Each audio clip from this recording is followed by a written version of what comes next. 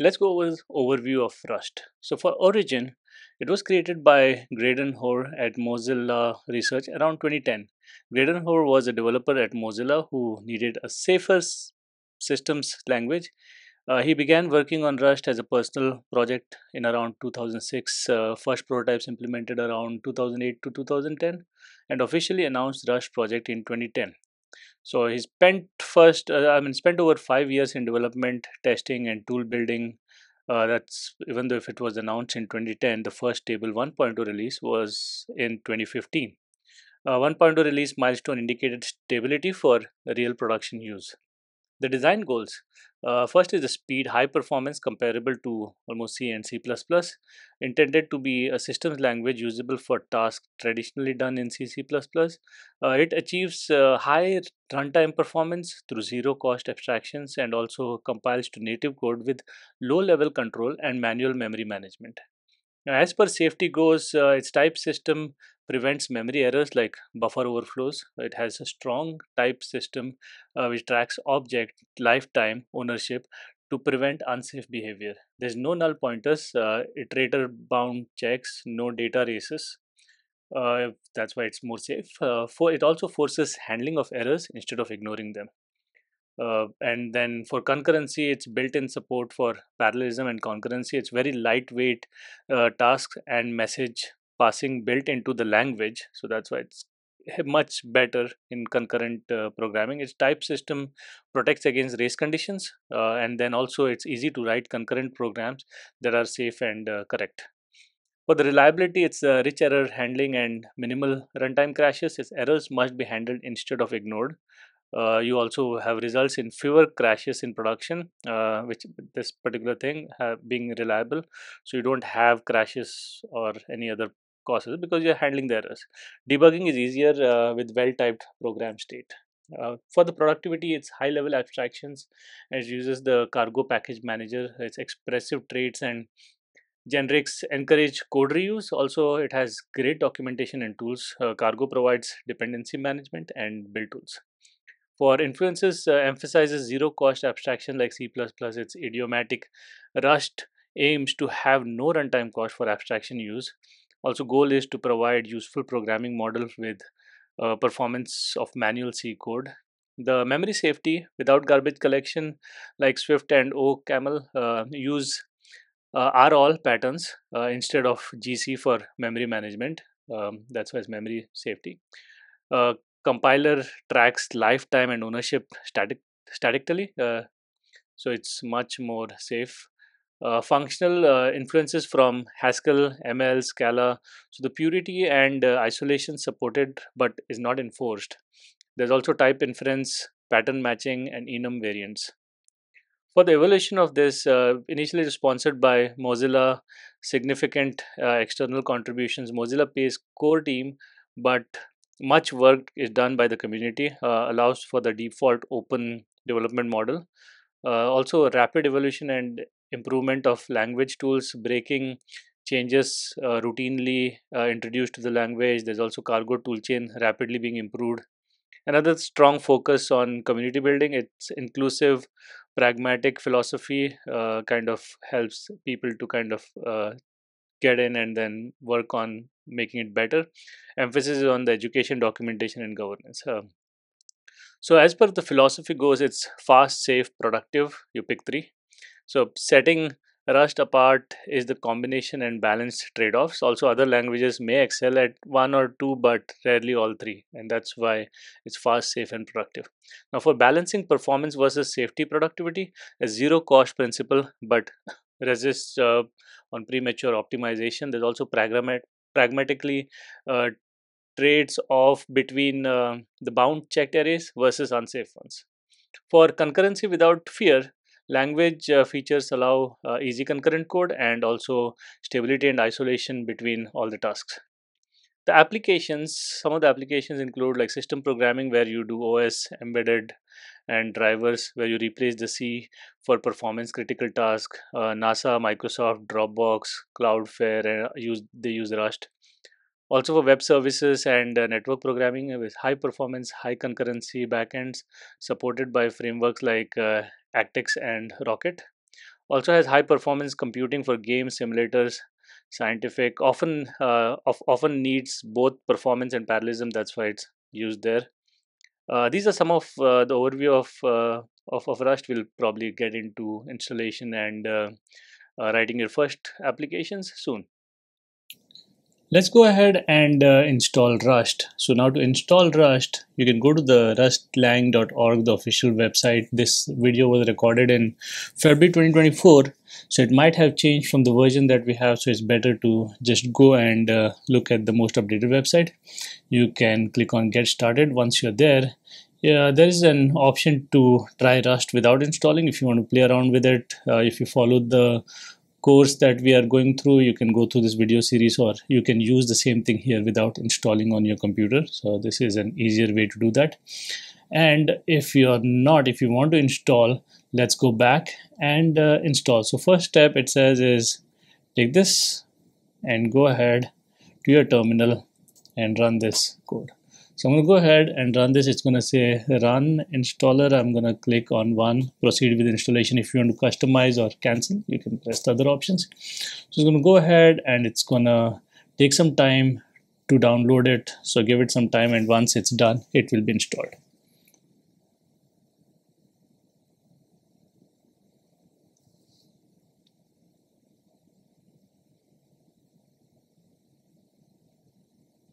So it took like a couple of minutes and it's then it says rust is installed. Depending on your internet speed it might take more or less. It's been installed. It says you get started. You want to restart this cell uh, this particular shell and uh, this would reload your path environment and include everything that we need for cargo. And we'll talk about cargo a little bit more but this kind of shows that your uh, rust is being installed so other than installing Rust, we also need Cargo. Now, if you look at it, it says that Cargo, when you install Rust, you'll also get the latest stable version of Rust build tools and package manager, also known as Cargo. Cargo does a lot of things, which is all these things, which you'll probably see when we actually uh, build some applications. So once we install this, uh, there's also a way to check if your Rust is up to date. You can just say Rust update and it will update Rust for you, Rust up update, sorry. And then uh, you can read the cargo uh, book that is also available here.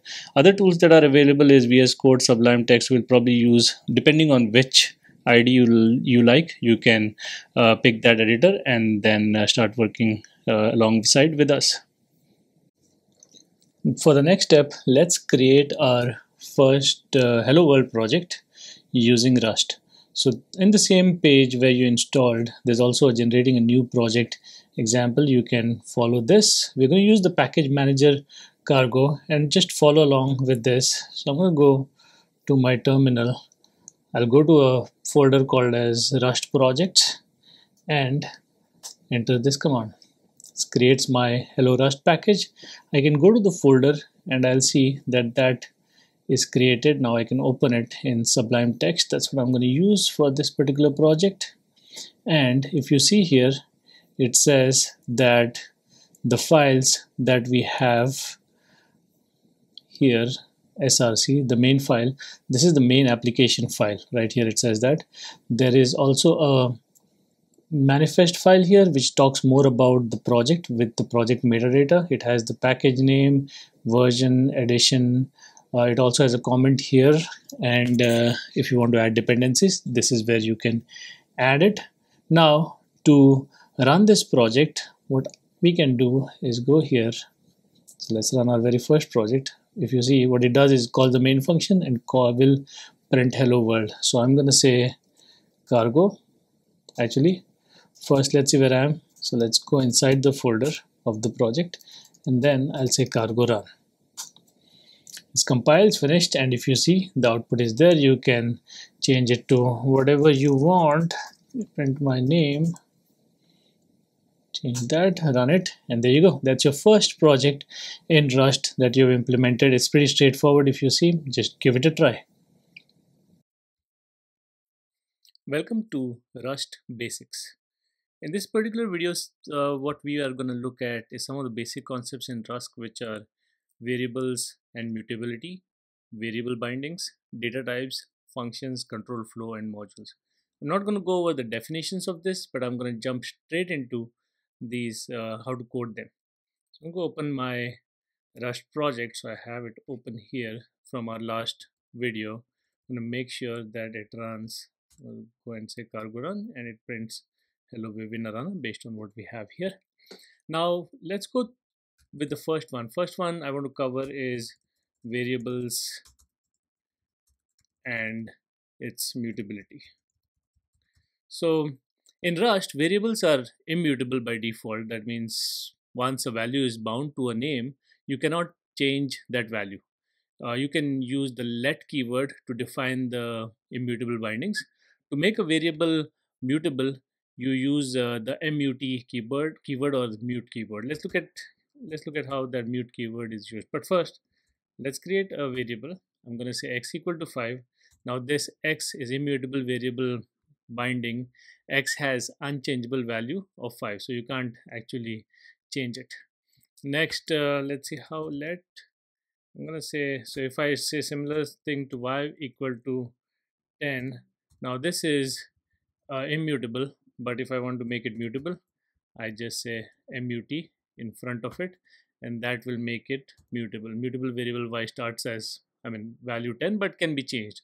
So I can go ahead and say y equal to 15 in the next line uh, so it the value of y now is 15 I can print ln and I say x is this and y is this x comma y and then I just go ahead and run the and you will see that it says x is 5 y is 15 the value of y exchange of course is going to give you some warning messages here unnecessary trailing semicolon. So it looks like I have two of them. Okay, let me get rid of it. Sometimes you do it too much. Y is maybe it's overwritten before being read. So if you see y i'm assigning a value and i'm saying why are you changing it in the next line so it's just giving you some warnings but that's fine uh, it's that's that's how variable and mutability works. Now, next thing that we want to look at is uh, variables, variables bindings. Now, in uh, Rust distinguishes between copy bindings and move bindings.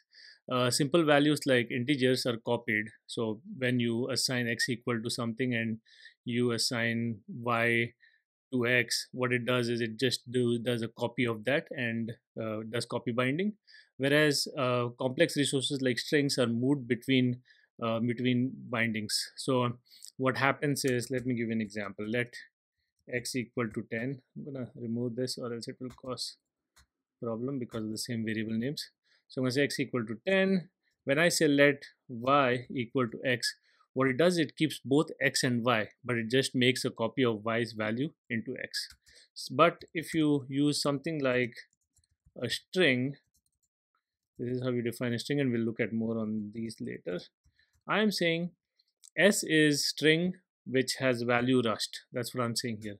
Now when i say let t equal to s what happens in this case is uh, this is a move binding where so s is invalid now so s doesn't have a value it moved the value of string from rust from s to t so that's that's what variable bindings are next let's look at data types now Rust is statically static.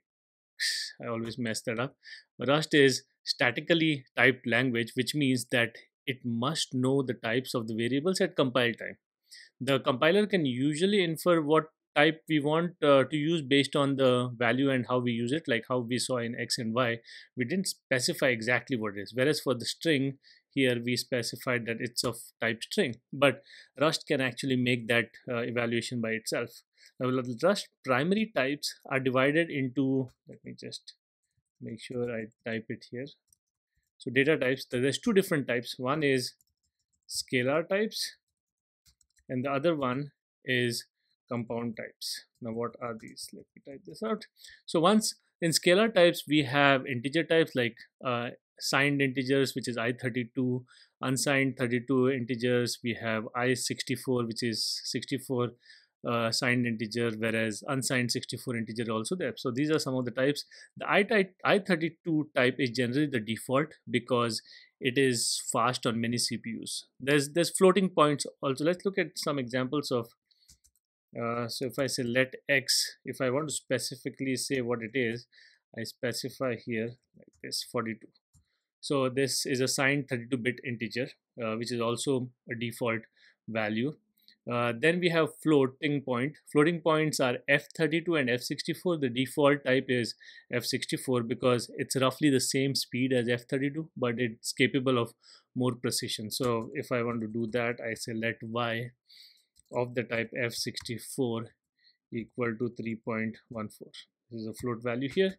I can uh, and also there is uh, boolean values where i can say let x equal to true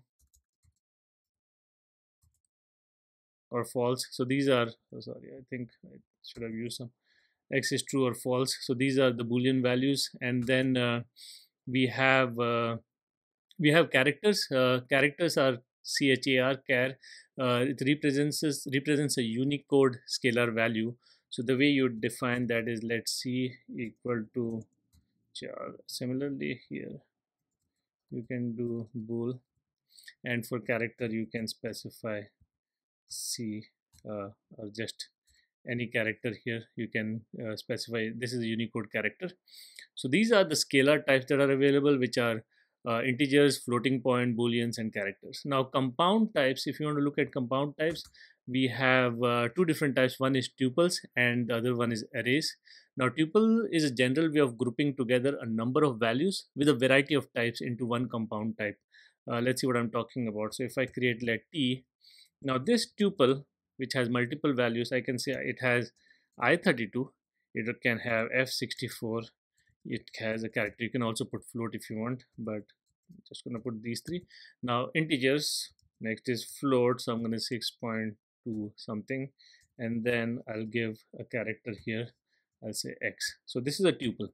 Another uh, example of a tuple let me just give me one more. If you're looking at tuples first time this will probably help you more.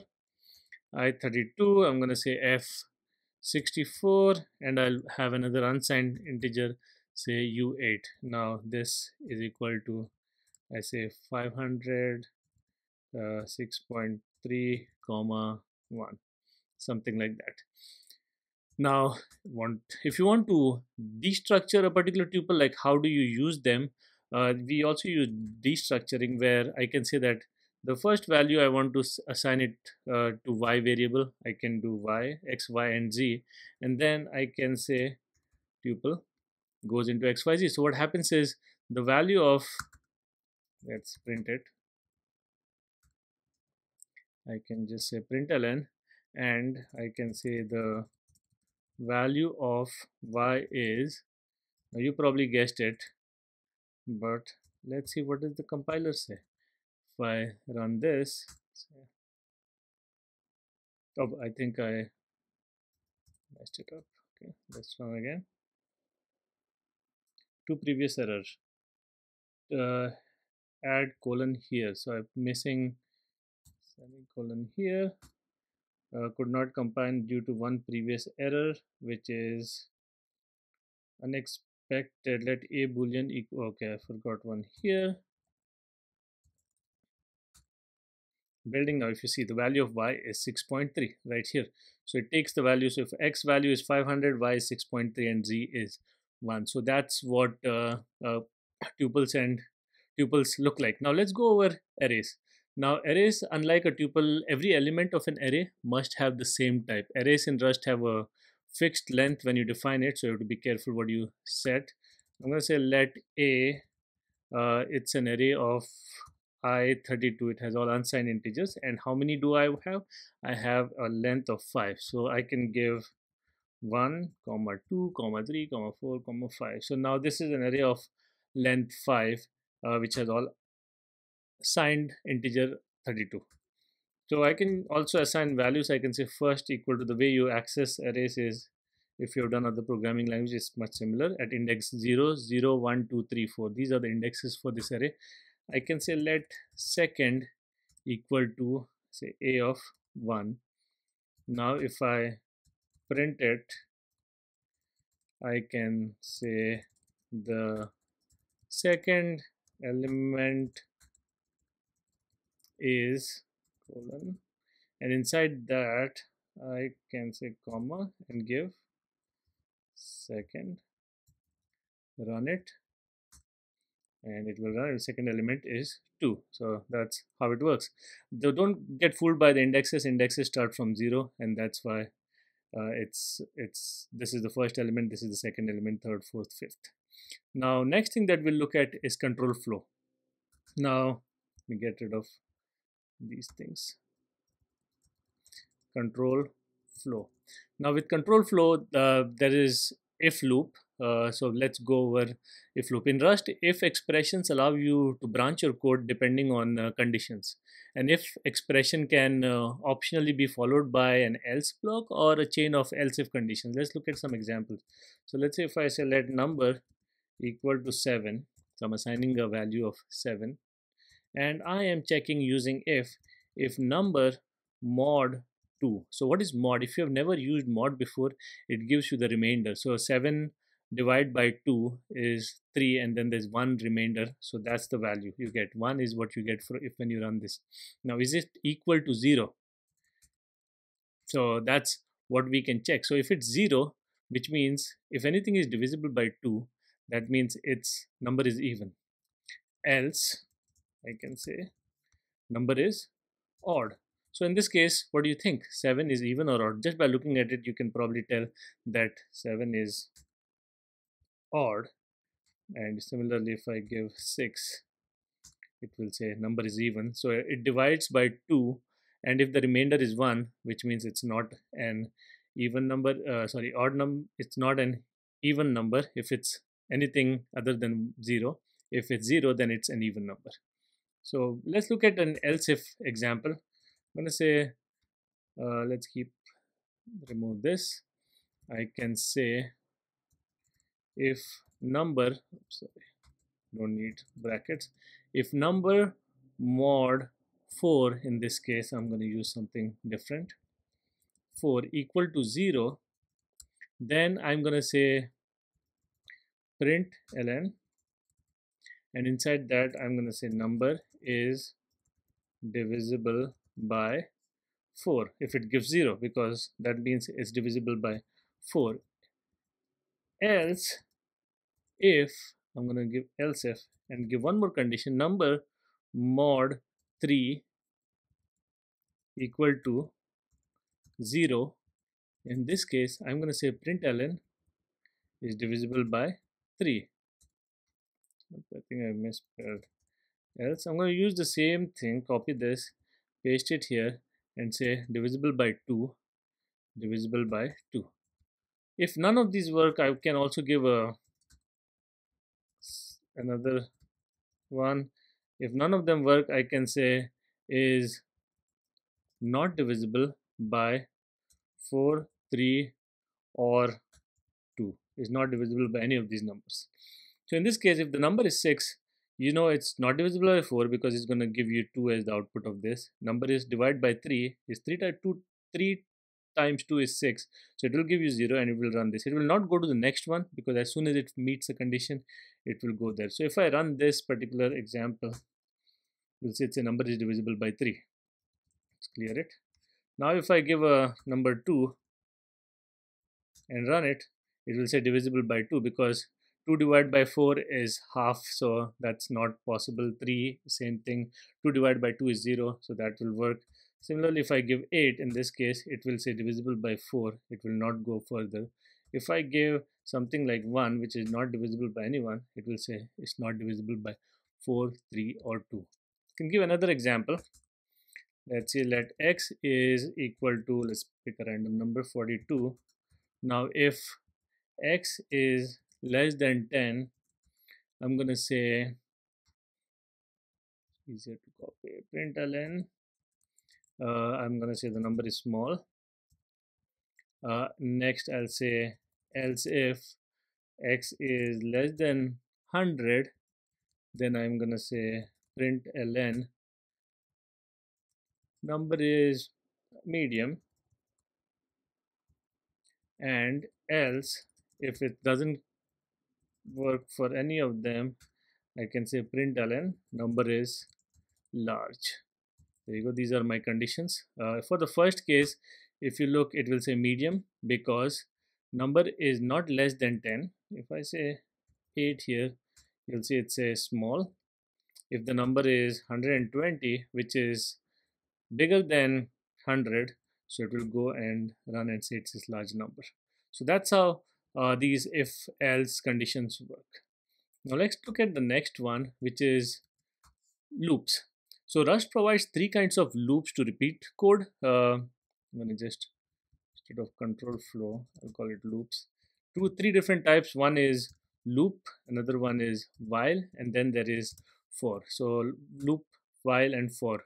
So the difference between the three is uh, these these three constructs can handle like repetitive tasks with uh, much ease instead of doing conditional uh, like if else uh, for loop, the loop keyword tells Rust to execute a block of code over and over again forever until you explicitly tell it to stop. So if you want to run something constantly, this is the way to go. For example, I'm going to create a mutated count and I'm going to assign it a value of 0 since I want to loop it and change the value of count that's why I set it as mutable uh, variable now I'm this is how you set up loop you just say loop and inside that whatever you add it will constantly run and I'm going to say count increment by 1 so, so currently the value is 0 so it increments by 1 so the value of uh, count will be 1 at the first go around.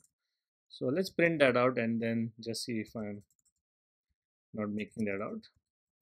So if if I keep this like this it will constantly run and keep on printing 1 2 3 4 5 6 7 8 for infinity. So I want it to not go forever let's stop it after let's say 5 if count equal to 5 what I want to do is I want to break. So this is how you can break out of a loop. So let's run it and check if it works. So see count equal to 1 then it goes back again increments by 1 2 3 4 5 so that's how loops work. Next let's look at the while. The while loop is similar to loop but it includes a condition the loop runs as long as the condition evaluates to true. So let's let's keep that. Or actually let's remove that. So i'm going to say let mutable number equal to 3 not double single equal to 3 and then i'll say while. So the way you write while is you give the condition number is not equal to 0 so, so the value of number is 3 right now so it will run the while loop. I'm going to say println count my display my number. So this will display my number. And then I want to in, uh, reduce by 1 so it will go from 3 uh, it will print 3 and then reduce to 2 go again 1 and then when it becomes 0 it will not execute anymore. So let's see. Just to make sure that we come out of come outside this I can just say print println and say we are out of loop. Or let's say while just so we don't confuse ourselves. So let's run it. This is 3 2 and 1 and print that out. And then when it's 0 it just gets out of the loop uh, because the will say while number is equal to 0 this doesn't execute so we should get out and we are out of so that's how you create while loops. Next for loops. Now the for loop is used to iterate over elements of uh, collections such as an array or a vector. We have not seen vectors but we'll look at it in future but it's we've seen arrays. So for loop is used to iterate over that. It's the most commonly used loop for iterating over a collection because it's safe and concise. So let's look at an example to understand how for loops work. So let's create an array first. Create an array. Not gonna assign it any types because it will automatically know that I'm using an uh, unsigned or integers with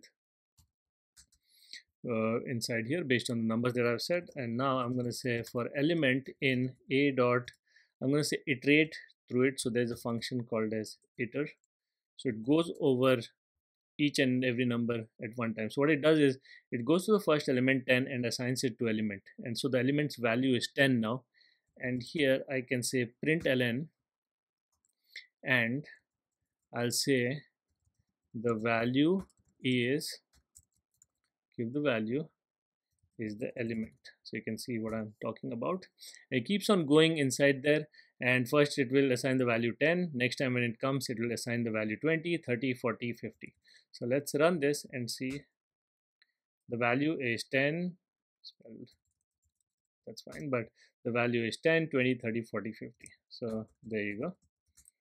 That's how for loops work. Now if you can also use for loops with range uh, where which is particularly useful for running a loop a certain number of times. So if you want to run a loop for a certain number of times for example i can say for i in 0 dot dot 5 so this means 0 to 5 not but not doesn't include 5 so 0 1 2 3 4 i can say the print of value is keep the same code and run. So it's a value of 0 1 2 3 4 if you want to include 5 also you can give 5 there. So what that does is 0 1 2 3 4 5 so that's how you can use uh, by range. You can also do another thing uh, for example for number in inside the bracket now if I want to run it in a reverse order in this range so I can say dot rev, that is a built-in function again. So it runs from 4, 3 to 1, something like that. I can say, get rid of this for now, is number. I will run the code and you'll see it goes, as I said, the last number is not conclude, included uh, unless I give equal to here, something like this. Unless it will say 3 2 1 I can run it again 4 3 2 1 this time I gave equal to so that's why it's 4 3 2 1 so that's uh, how for loops work. Now conditional loops uh, with uh, break and continue is another thing that I want to look at. We saw the break option uh, but let's look at uh, continue. Uh, you can use break to exit a loop immediately which we saw before and continue is used to skip the rest of the iteration and begin the next iteration. So you don't have to with break it completely comes out of the loop. Whereas if you use continue it will uh, it will just skip that particular iteration. So what do i mean? Let's write a function. So i'm going to say 1 i in 1 dot dot. I want to go from 1 to 10 so that's why i'm saying equal to. And inside here i'm going to say if number mod use mod that we learned if it's an even number I want to continue which means I don't want to do anything. I want to skip this particular loop and go to the next number. So one it will not go inside here because 1 mod 2 is not equal to 0 so it will say print ln. I can say the number that comes out is odd right? Because it doesn't run for odd numbers. So it will go here it will say 1 is odd go second time it, this time it's second and it will continue so skip this and go back to for loop and go to the next number three four five. So this is how so in this example continue is used to skip even numbers so only odd numbers are printed. Let's look at this. Oh, print ln i forgot this. Run it again. So one is odd three five seven nine. So it two it skipped two four six eight and ten so that's how you can use continue so these are all the things that I wanted to do about loops. Uh, so next, let's look at pattern matching uh, with match. Pattern matching with match. Now this is a new thing. Uh, pattern matching in Rust is a powerful feature that allows you to compare a value against a series of patterns and execute code based on which pattern matches. Now the match construct in Rust is version is similar to switch statement if you use switch statement from any other languages, but is significantly powerful due to its deep integration with Rust pattern matching features. Uh, so let's look at the basic uh, match syntax. The match expression takes a value and branches execution based on its value, allowing uh, one of the several uh, code patterns to be executed. So for example, let's say I create a let coin uh, equal to gonna we're gonna look over enums later. Uh, but let's say coin is an enum representing different types of coins uh, that matches expression. So what i'm going to do is i'm going to say coin has penny. Uh, so this value of coin is a coin penny. Now let's create the enum name coin. And I'm gonna say there's different types of coins. One is penny type. The other type is nickel next type is dime and the last type is quarter now these are all American uh, coins. Penny is a cent nickel is 5 cents dime is 10 cents and quarter is 25 cents. So I'm creating a coin object and I'm saying coin is of type penny. Now the way you use match is you first say match and then match the coin value to uh, what is it? Is it coin of the type penny. If it is use the arrow and say print ln and we say lucky penny. Let's say that what we say next we give comma. If it doesn't match like switch statement i'm going to use for all four of them. And the let's say if it's nickel what to do? If it's dime what to do? Quarter what to do? Let's see what should we write for nickel say it's a nickel i can't come up with anything crazy. I'll say dime detect detected. And for quarter i'm gonna say quarter of a dollars. Okay now this is how it will print out based on what it matches. Let's run this and see how this works. So if you see here it says lucky penny. Uh, hello Vivian Aranha and lucky penny. So it matched coin to penny because the value is penny and it's going to print out that particular value. Now if I change it to dime it's a dime detected based on which statement. So you can kind of run a function or do whatever you want in here based on. We'll cover some more advanced match in future videos but this will give you a basic idea of how match works. Next i want to look at is functions. I'm going to do first is functions now func fn is what you use functions are declared using that fn keyword uh, rust code uses uh, uh, like snake case as conventional uh, style for functions and uh, variable names. Uh, so what I'm going to do is I'm going to create another function outside. What should I call it? I'll call it another function. Very intuitive.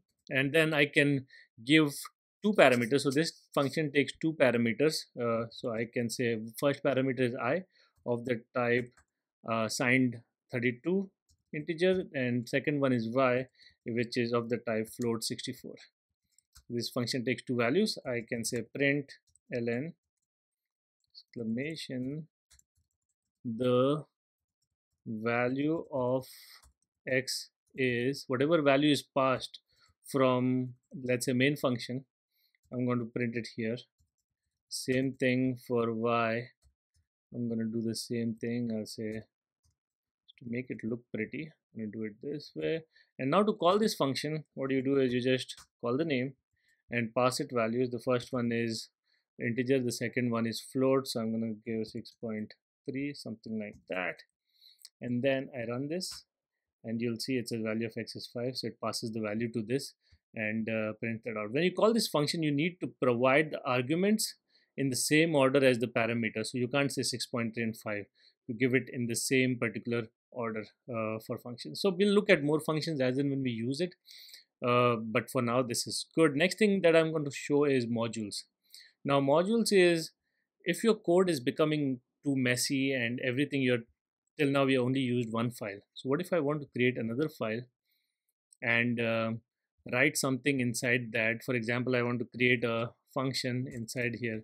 I'm assigning pub, which means public function, which is available to outside.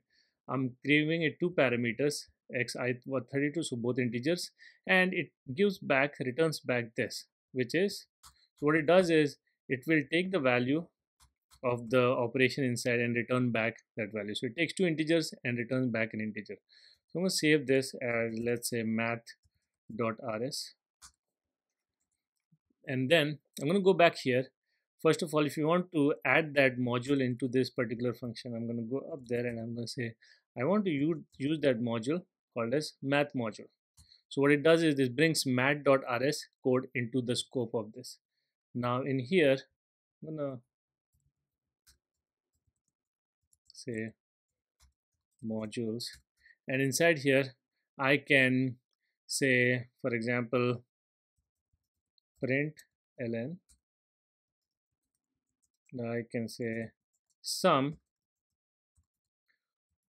is since that is an add operation over there I'm going to say use the math module. And then inside that there is a public function add and I want to pass 3 and 4 to it. So that's how you can incorporate a module inside your your main function. Let's go run it and you'll see math so it, what it does is you don't need all these things. I'm gonna get rid of this. So what it does is it will take uh, it will go inside here and it will say sum is the value of whatever is returned back from here. Now if you see the return back is an integer but it wants two integers. So that's why I'm passing 3 and 4 here. It will add those two numbers and return back 3 plus 4 7 to me. So that kind of covers our uh, entire section of um, doing variables, variable mutability, variable bindings, data types, functions, control flow, and modules. So if you have any questions on this, uh, hit me up with comments down there and uh, we'll cover more, more sections in future. Thank you. Welcome back to React Comprehensive Crash Course. In this particular section, we are going to look at structs. Now structs in Rust are a way of grouping related data together into a meaningful package. They are similar to structs in other languages like C if you've done before, but with more powerful features such as methods. And we're going to cover those too. Structs are used to create custom data types. Now, defining and instantiating structs, that's the first we'll look at. To define a struct, you use the struct keyword followed by the name of the struct and the block containing all the fields for that particular struct. Let's look at a basic example. What I'm going to do is I'm going to go inside here and create I can probably create it outside. I can say struct user this is how you can create a structure. And for this user now if I want to give all the fields I'm going to say let's see user has a username which is of the type string.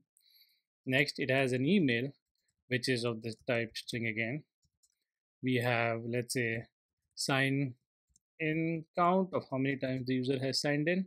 And I'm going to say that is unsigned 64 and is the user active. For that I will use boolean if it's true or false. So this is how you can create. Use a struct after defining it uh, you create an instance of that struct by specifying concrete values for each uh, each of the fields. So for example let's create an instance of this. I can say let user let's give a variable instance variable user1 and then I can say user and then I can pass it values like email is we give colon and then say it's a string. So I'm going to say string from uh, someone at example.com let's give a random email. Next I want to give a username. So I'm going to say username is again string from let's say someone uh, user. So let's that's the username. Next I can say is the user active? Is true. It doesn't matter the order in which you give it just matters the key value pairs. And sign in count. How many times has this user signed in? One time. That's how you can create a user uh, with values passed based on a struct defined that you've done. Now you can create mutable structs so this is by default as you know it's immutable.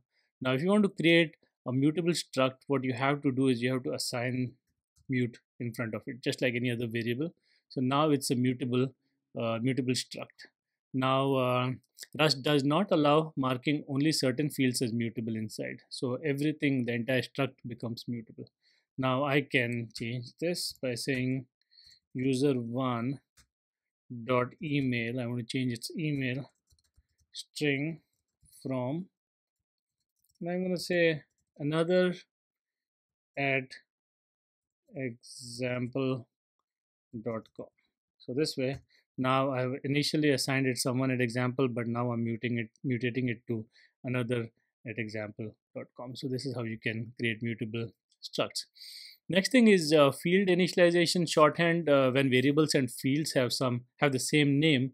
So for example, if I have a function which uh, says that build underscore user and it's passing me email which is a string and username which is a string and this function returns back a user Oops. back a user so in this case, uh, if I want to create a user object, and if you see the email is same as this, uh, so when the variables name from uh, which you're creating a struct instance and the struct field names are same, you can use the shorthand initialization syntax. For example, I can say user, I can say email. I don't have to do anything else. I just say email. So it automatically assigns email to email. Username active. Now there's no value for active, so I'm going to pass active is true and then I'll say sign in count equal to 1 so this is how you can uh, uh, do a shorthand initialization next thing that I want to show is uh, struct uh, update syntax. You can create a new instance of a struct based on existing existing instance uh, with the struct update syntax which is dot dot. So for example from this user one I want to create a user 2 and pretty much everything I want is same. So what I'm gonna do is I'm gonna say email string from I'm gonna say some uh, email at example.com so this is the email that I'm giving but I want the rest of the fields to be same. So I can just say user one. So what it will do is this syntax makes like user two have the same values for username active sign in count as user one but it gives a new new email for this particular user. Uh, next thing we're going to look at is uh, tuple structs.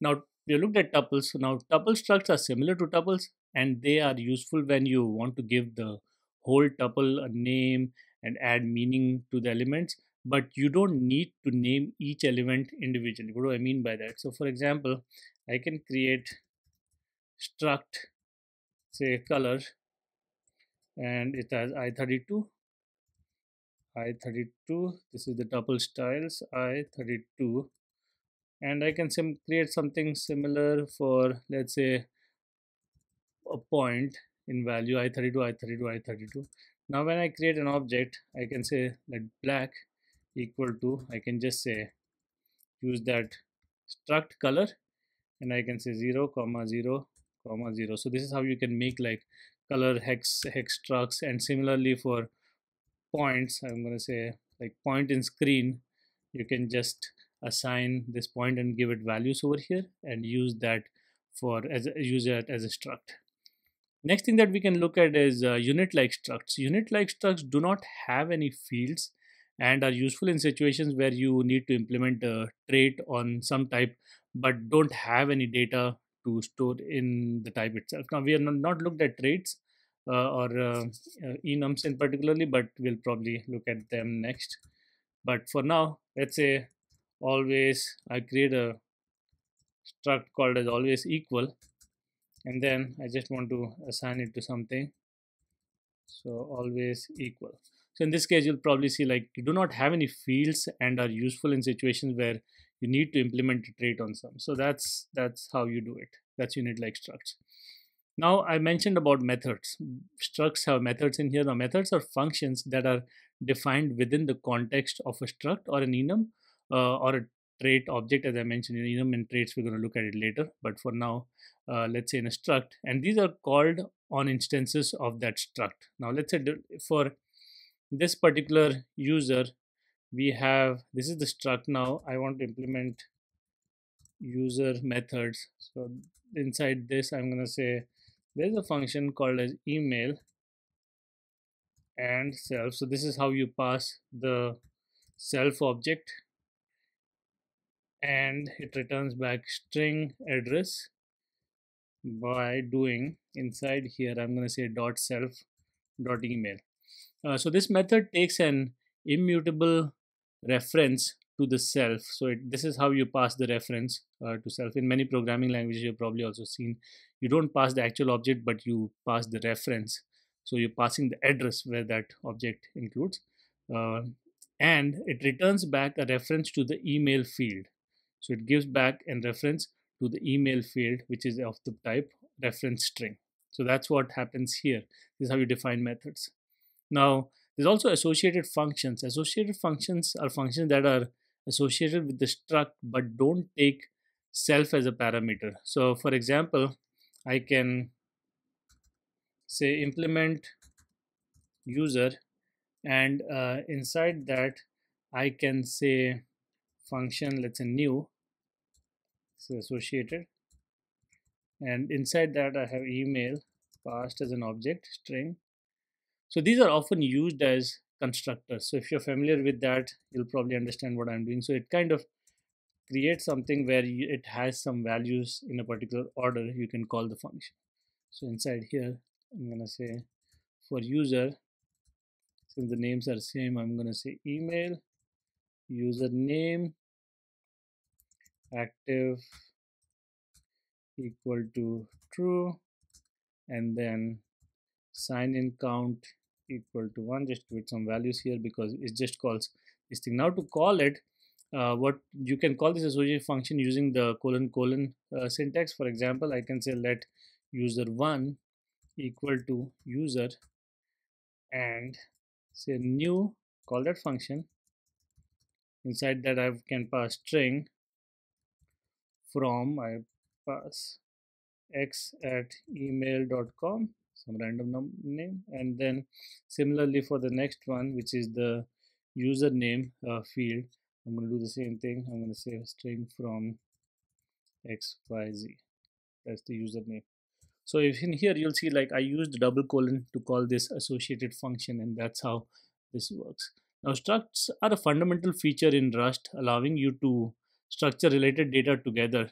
By understanding how to define, instantiate and use structs along with their methods and associated functions, uh, associated functions you can create complex and meaningful types in your Rust programs. The use of uh, structs is crucial for creating well organized modular and reusable code as you can see so if you want we'll probably work on it quite a lot when we build our own uh, exam examples and projects you'll probably see that in those videos but this is how you create structs if you have any questions please leave them in the comments thank you Hi, welcome again. Uh, in this particular video, we are going to look at enums and pattern matching. Now, let's dive into enums. Enums also short for enumerations in Rust allows you to define a type of type by enumerating its possible variants. This feature is uh, particularly powerful in Rust due to strict type checking and pattern matching capabilities, enabling safe and expressive handling of data that can vary in type. Let's look at how to define enums. Now, to define an enum, uh, use the enum keyword followed by the name of the enum and a block containing its variant. So what I mean by that, let's go over a simple example. I'll say enum, it automatically fills up everything. I'll probably not do that. What I'll do is I'll say enum not do that. Mm, once you get used to this, you probably can automatically fill it up. So as I mentioned, you know, define enum, you use the enum keyword and then followed by the name. And in here, what are the different variants? So direction, I can just say there is up direction there is down direction there is left and what's the last one? Oh, right yes. So it's pretty straightforward. Uh, you give all the variants here. You can keep on giving as many different you want. You can do northeast north south whatever you want to give if you want to do more. Now enums are useful for defining a type that can be one of the several variants. Each variant can optionally carry additional data than just this. So for example i can do an enum with data which is I'll say a message. And inside here I can have a normal quit message. Or I can have a move message asking a particular object to move to a new location which is let's say i32 let's keep it simple comma y i32 so this contains uh, data in here I can have let's say write a particular so you want to print something, you'll say write this particular string. So I can have a function here. You can also have a change color and then inside that pass the color parameters. You can just say i32 i32 i32 uh, RGB values. So if you want to add alpha 2 you can do that too. Now this enum has four variants with different types of associated data. Now how do you you like use let's look at how to use these enums. Now enums are used to create instances of their variants each variant can be treated as a function that constructs an instance of that enum so let's say if i want to say let message equal to now i want to use that message enum above and i'm going to say the value that i want to use is right. And since it needs a string i'm going to say string from hello this is how you can use for if you're using direction you can just say up down pretty straightforward but this is how you can create an enum and pass a value. It can be any of these variants that you can use but i'm using right and passing the string from hello. Uh, let's look at pattern matching because the pat the match operator the match control that we saw before uh, we learned a little bit about it. You if you remember the coin uh, that we created for different types of coins and we matched it. So the match control flow operator allows you to compare a value against a series of patterns and execute code based on which pattern matches. That's what we saw with coin. It's particularly useful with uh, enums because it enables enables you to unpack and handle each variant specifically. Uh, let's look at a basic match example with in a function. So I'm going to just write something outside I'll say function let's say process the direction uh, and then it gets a parameter of oops wanted to do that. Direction is of the type direction. This is where I want to keep that. Now inside this function I can say match the direction. Now depending on what the user has passed here or whoever called this function has passed here if the direction is oh, this is frustrating something but i'm saying if the direction is up which is one of the value i will say println and inside that i'm to say let's say going up. Same thing i can repeat this oops comma comma comma and comma. So there's four different options that we have. So if it's down left right.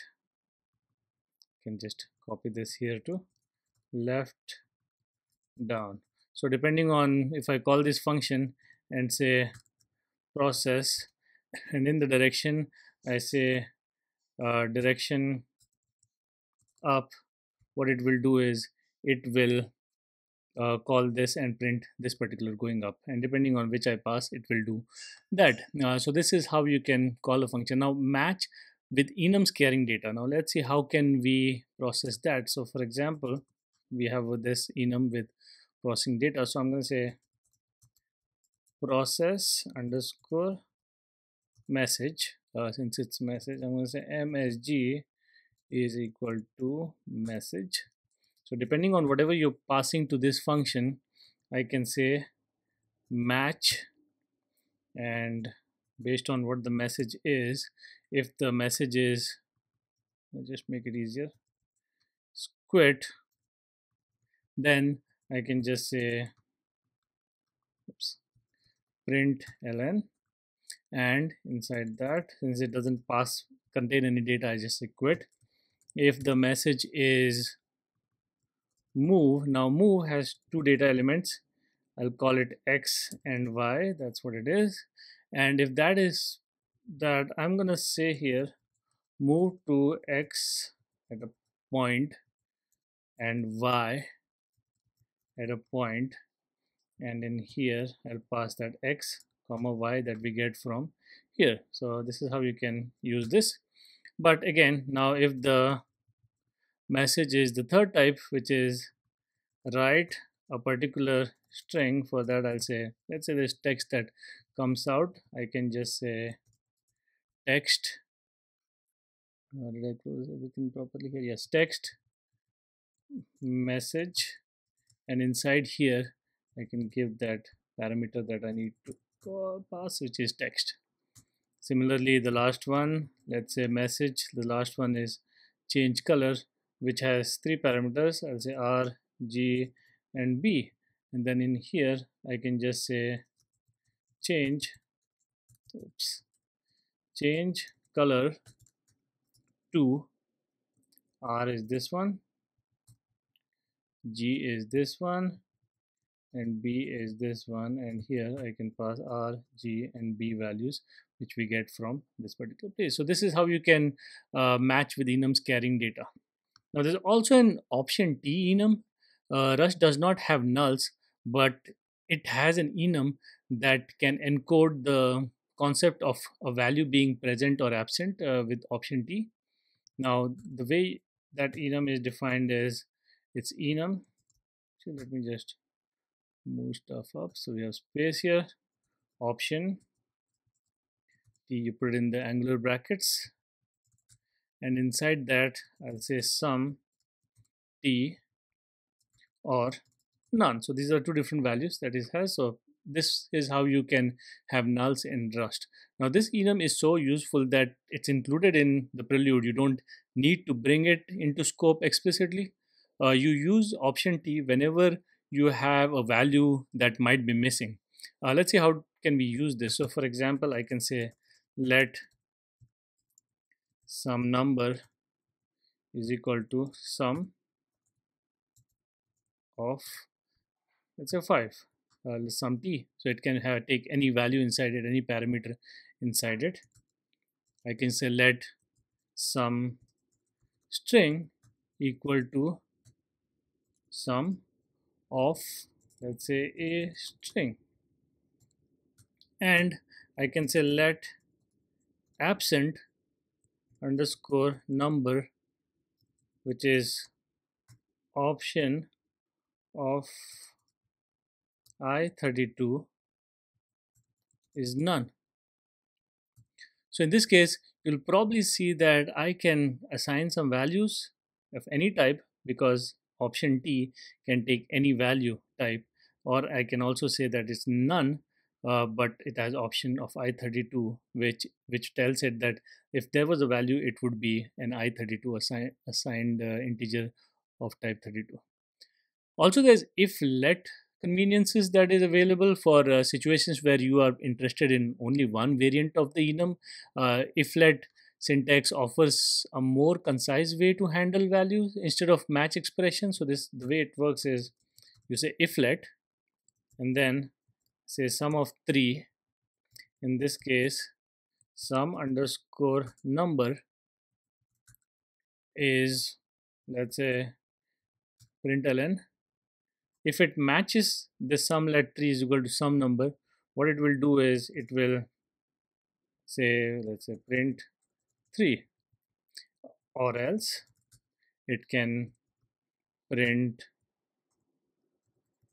not 3 so in this case what do you think the answer is? So the reason uh, it's, it's going to look at some 3 some number and some number is Some of 5 it doesn't match so it's going to say not 3 if you provide this value as 3 here it will match it and say oh this is 3 so let's print ln print 3 this code will print not 3 because some numbers value was here 5 initially. That's what we had set.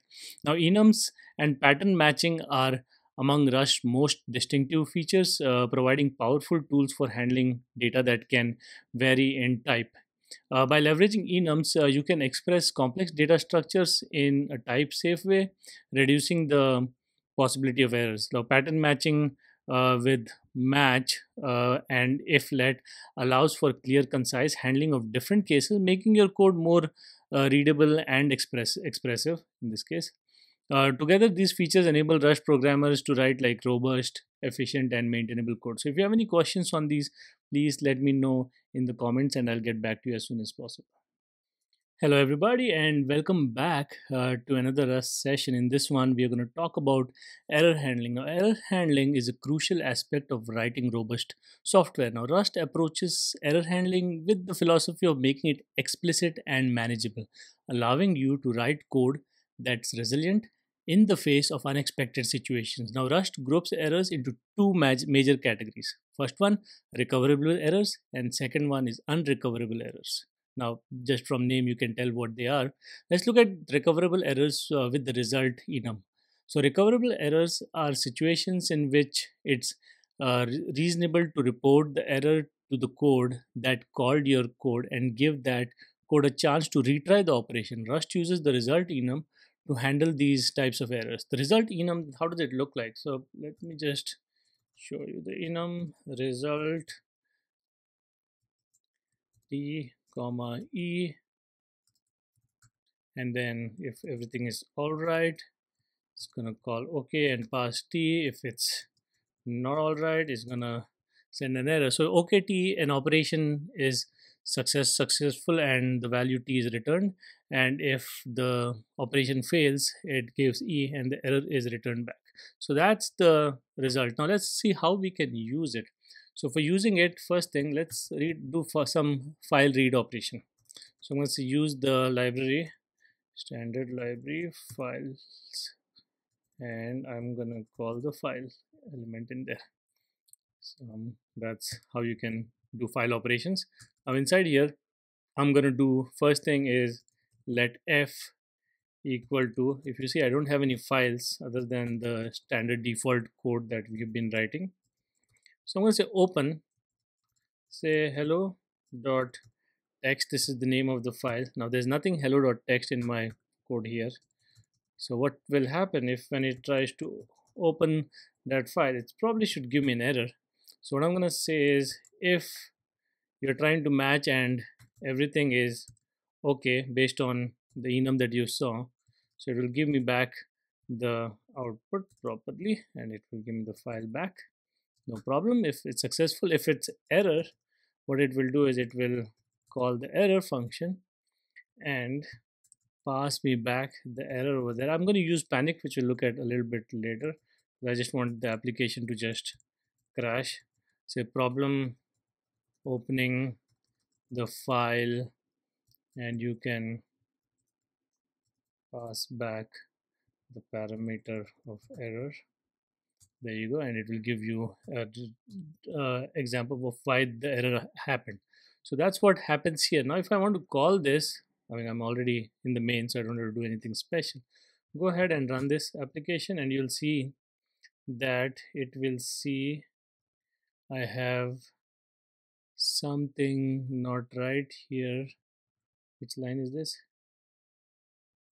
16 I've opened match F okay file oh, I have to close this. That's what it says here that just add there. And you see what it does is it's a thread main panicked at this particular line problem opening file not found no such file or directory. So what do I need to do? To create that file. So let me create that file. I'll call it hello dot txt and save it in hello rust folder. Save and say hello world yes. Even though i'm not reading the file it's fine. I'm gonna run this again. And this time there's no error. We just clear it. So you can see it so no error. It just says hello Vivian Aranha which means it was successful and the file is passed to this particular parameter.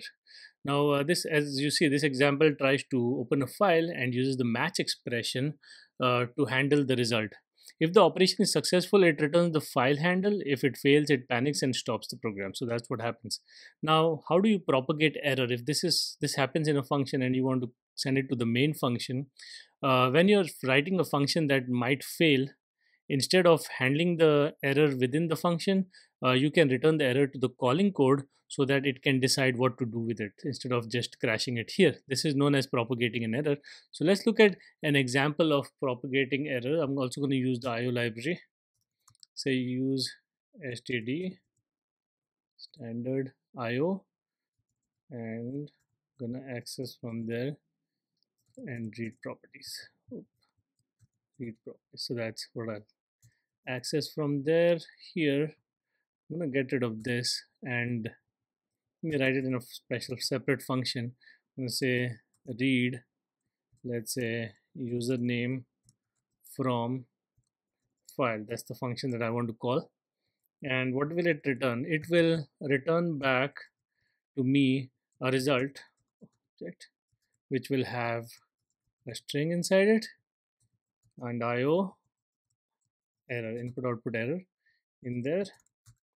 Uh, now let's do the same thing. I'm trying to access that file which i've created now. So me say file dot file or open hello dot text. Now that file exists that is for sure. We tested that out. Uh, next i'm going to say let mutable f because the value can change. Match f based on this f here. To this. And I'm gonna say if for OK of file I'm gonna return back file. But if there is an error where let's say E I'm gonna return back return error with E. Now this doesn't go outside the function, it's just going to go assign it to this particular F here.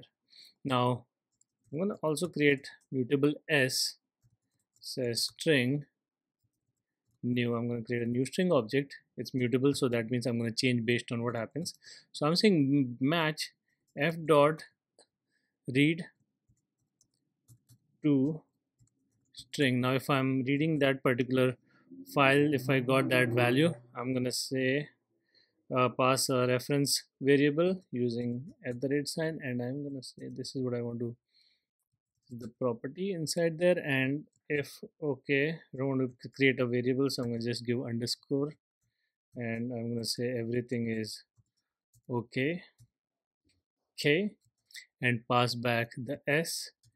If not say error e and pass back error of e. So this is what will propagate back and return back to the function that is calling. So for example if this is the function that is calling let's create an object to take the return parameter. Now if you see the return will be same style say string comma io error.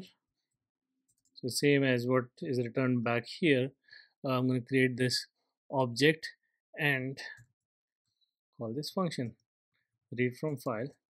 So this will assign back whatever comes back to this guy and it will ask it to decide what you want to do with this. So i can say print just gonna print the value not do anything special with it. Say this let's put it inside comma and then check a dot is okay. So if it's okay I'm sorry it's a built-in function where based on this a result I can check if is okay or is error. So it's gonna print out true or false. So let's run this and see if the value is propagated back.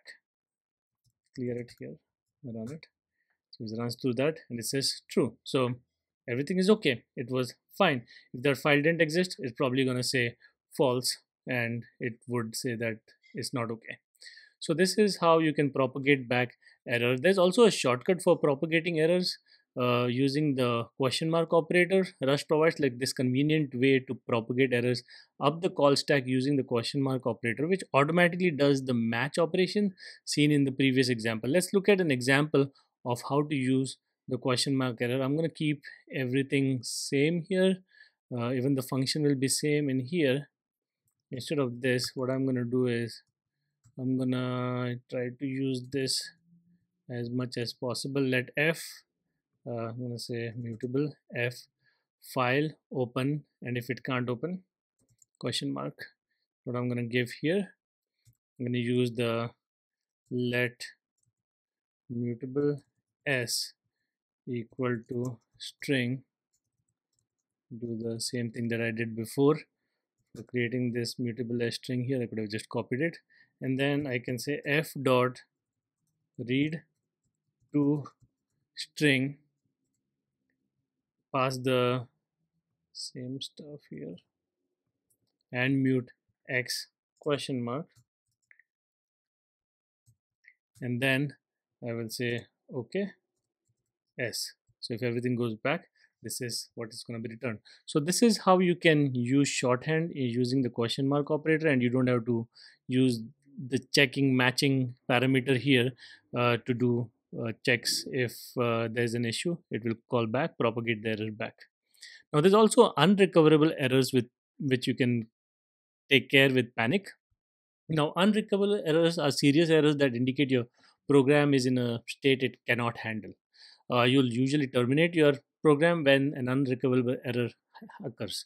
So Rust has the panic, which we used before, uh, panic macro for these situations. Uh, let's look at panic. Let's as soon as I print here, I can say panic and say crash and burn. If I run this application, you'll see it says crash and burn right away and it crashes the particular application saying that "Hmm, that's it nothing else i mean anything after this code is unreachable because of course this is a panic. And when a panic occurs the program prints an error message winds and cleans up the stack and then quits. That's what happens. So rust error handling features help us help you write better more resilient code.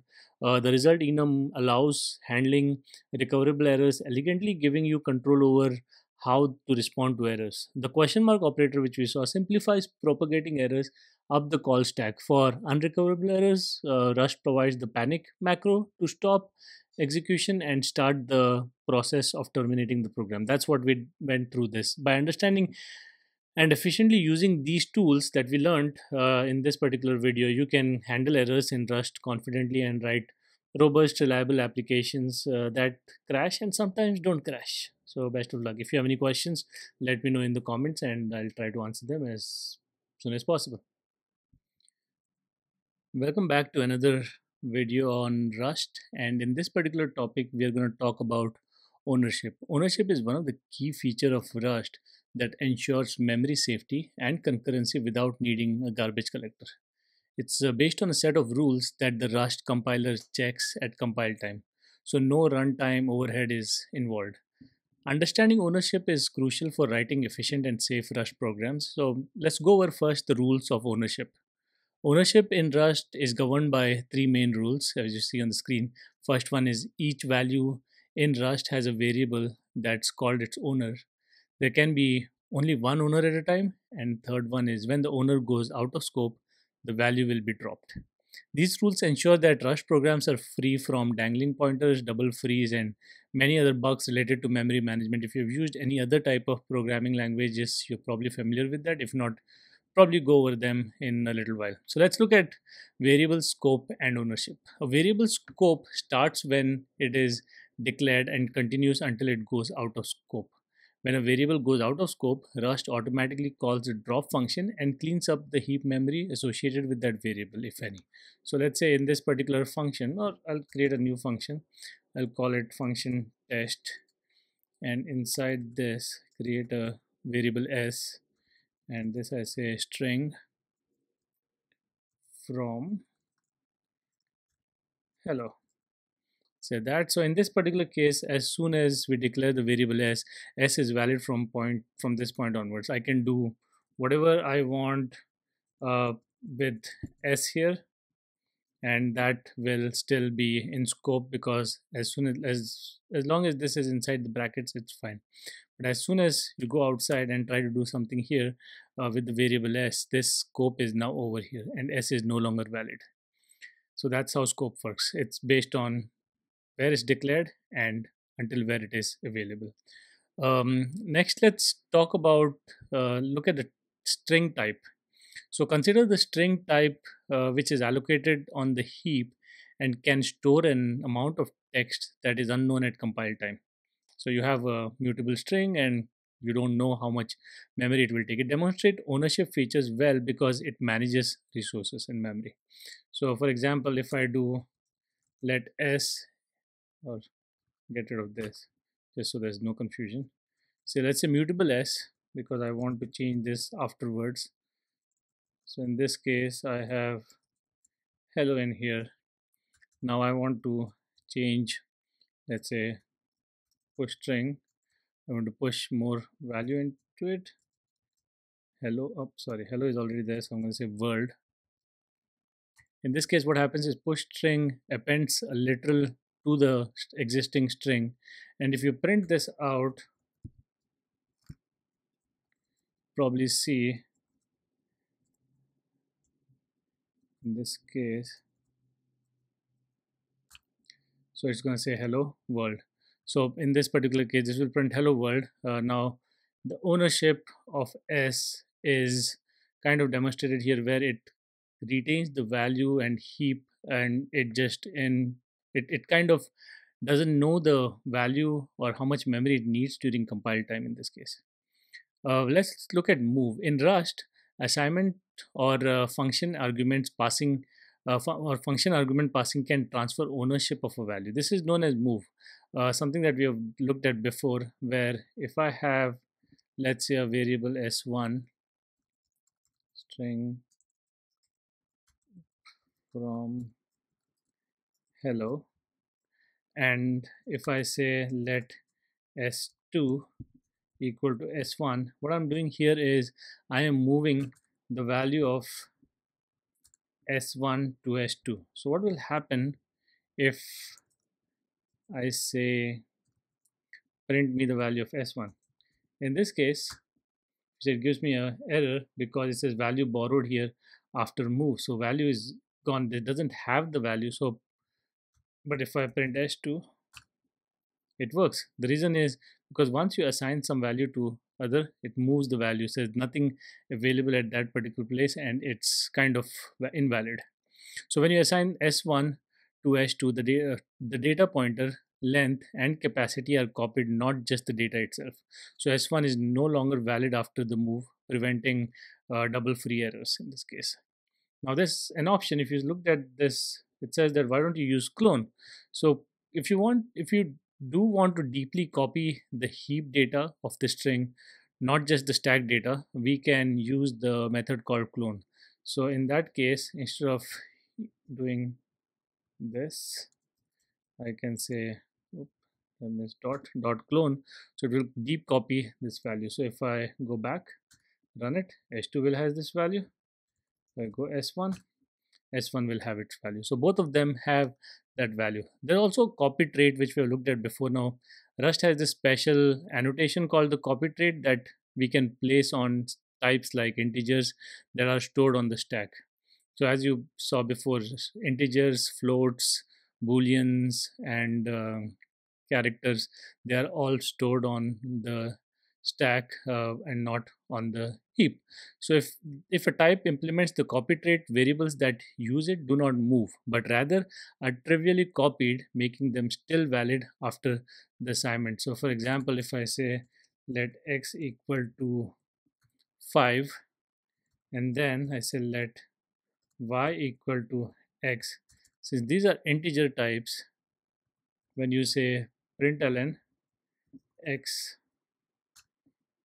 going to print 5 for x even if I do print for y it will print 5 so both will have because they are deeply copied or not deeply copied they are on the stack so they are just copied values directly there's no pointers in there um, now how about ownership and function so passing a variable to a function will either move or copy just as assignment does. Returning values can also transfer ownership. Let's look at some examples.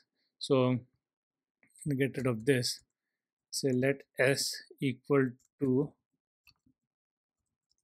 string from hello. So in this case, s comes into scope. Next, I'll say takes ownership function and to this I'm passing s. So what happens is s this value here moves into a function and so no longer valid after that. So now I say let y or let's say x equal to 5. Now x comes into scope and I say call a function called as make copy and pass the value of x. In this case x would would move into the function but i30 since i32 is copy so it's okay to still use x afterwards here x is still valid here but s is not valid because x s is of the type string and they are they are on the heap and not on the stack so if you look at the takes ownership function if i write that implement that function say some string string so in this case, what happens is some string comes into scope because it's part of the argument. And if I print here, some string goes out of uh, scope after this closing bracket and is dropped uh, because it will free out the memory. Uh, similarly, if I call a makes copy function and pass some integer integer in here of the type i32 which I've already passed x here. So in this case what will happen is let me just go ahead println comma some integer so in this case some integer comes into scope. Uh, at the end of it some integer goes out of scope but nothing happens because it's part of the part of the stack. Now uh, understanding ownership along with some related concepts of borrowing which we'll do in the next uh, video and lifetimes which we'll do a video later is fundamental to mastering rust. Now ownership ensures memory safety and prevents data races making rust program reliable and efficient. So if you have any questions just leave it in the comment and we can go with that thank you welcome to another video in this particular video we are going to talk about references and borrowing in Rust. Now, references and borrowing are integral concepts in Rust that work alongside with ownership, which we did in the last video, to ensure memory safety without the overhead of a garbage collector. Now, references allows you to refer to some value without taking ownership of it, which is especially useful for accessing data while still allowing the owner to remain the owner and eventually clean up the data. So let's look at references. Like a reference is created using the AND symbol. You've probably seen that uh, we've used it before. And it allows you to refer to the value of the variable without taking ownership. When the reference goes out of scope, it does not drop the value it points to uh, because it does not own it. It's more like, you know, you give someone your address, but not your house. So you give an address to your house so they can use it, but they can't actually release it. It's under your ownership. So let's look at creating on uh, creating references. So go over here, say let's say s1 equal to string from let's say same stuff hello and now let's calculate the length of this particular string. I'm going to just call a function call it calculate length. And to this instead of passing the actual string because it will lose ownership I'm going to just pass the reference to it. That's how you do it. And then I can say println and inside this I can say the length of let's say whatever the string was is whatever the value is. And here I'm going to say s1 comma the length. And now let's go ahead and write that function calculate length which takes s as an argument but it doesn't have the actual string. It has the reference to the string and it will give me back a usize which is the size length of the string in this case and I'm going to say s dot length. That's all I need to say. Let's run this. And you see the length of hello is 5 so what happens in here is we just pass the string uh, address. It looks at the string gets it length and then gives it back but it doesn't have the ownership of it. So in this example s is the reference to s1 the function calculate length can use s to perform operations on s1 but it does not own it after the function call s1 is still valid because its scope is inside here now let's look at uh, next look at mutable references. Now mutable references allow you to change the value you are referencing. However, Rust enforces a rule that you can have either one mutable reference or any number of immutable references to a particular piece of data in, in a particular scope, but not both. This rule prevents data races at compile time. think about it. You are constantly changing the value in different places and it's referenced by different place so it that's what is called a data race uh, during compile time so let's look at creating a mutable reference so in this case whatever we have above here let's use that i'm going to say mutable s let's call it s string from hello let's keep it that way. And here call a function change. And this function I will pass usually you'll pass the string value like this but in this case since I'm passing mutable you say mut in front of it. And now in your function change some string that is passed I'm gonna say mutable string here. And inside my function I'm going to say some string dot push underscore string. You used this before. Push this wrld world. And so in this case what happens is it passes that and it we change that uh, strings value from hello to hello comma world and you're passing a mutable instance of this now the rules of references uh, at any uh, the two of them at a give any given time you can have either one mutable reference or any number of immutable references to a piece of data but not both. Now references must always be valid. Rust will not allow references to dangle. So it will just give you an error. And we'll look at one example about dangling references like Rust compiler ensures that references do not outlive the data they refer to, preventing dangling references. So let's look at an example. I can say function dangle now in this particular function I am returning back string so dangle returns back a string here I'm gonna go let s equal to string from and pass it hello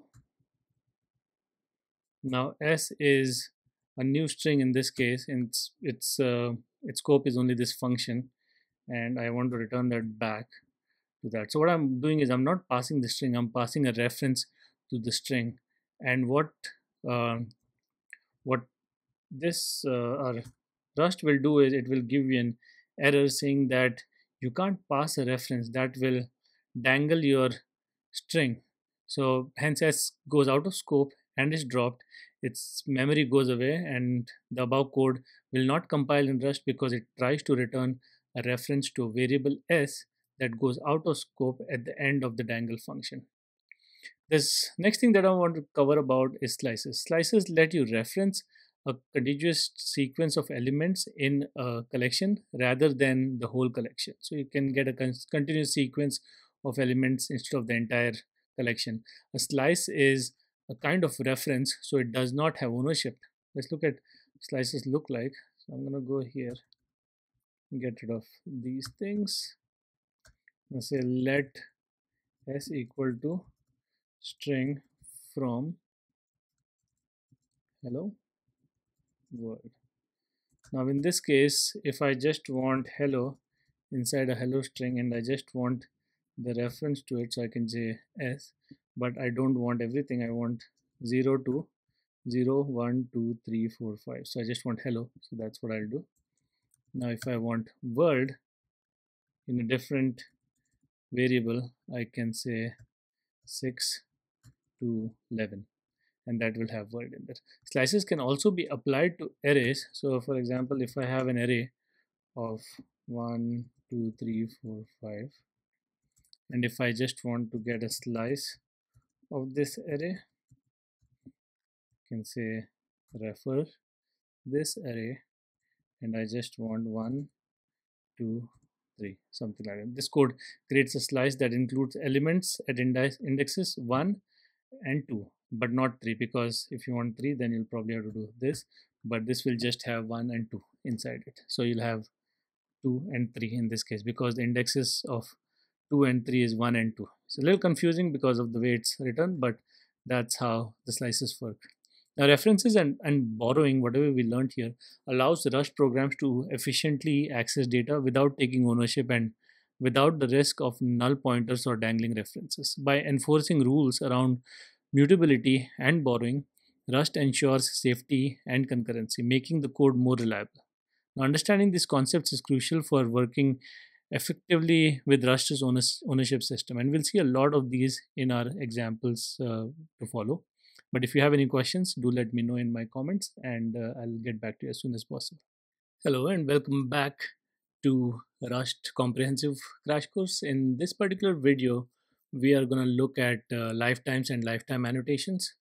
Uh, so lifetime in Rust are a compile time feature used to ensure that references are valid for as long as they're needed.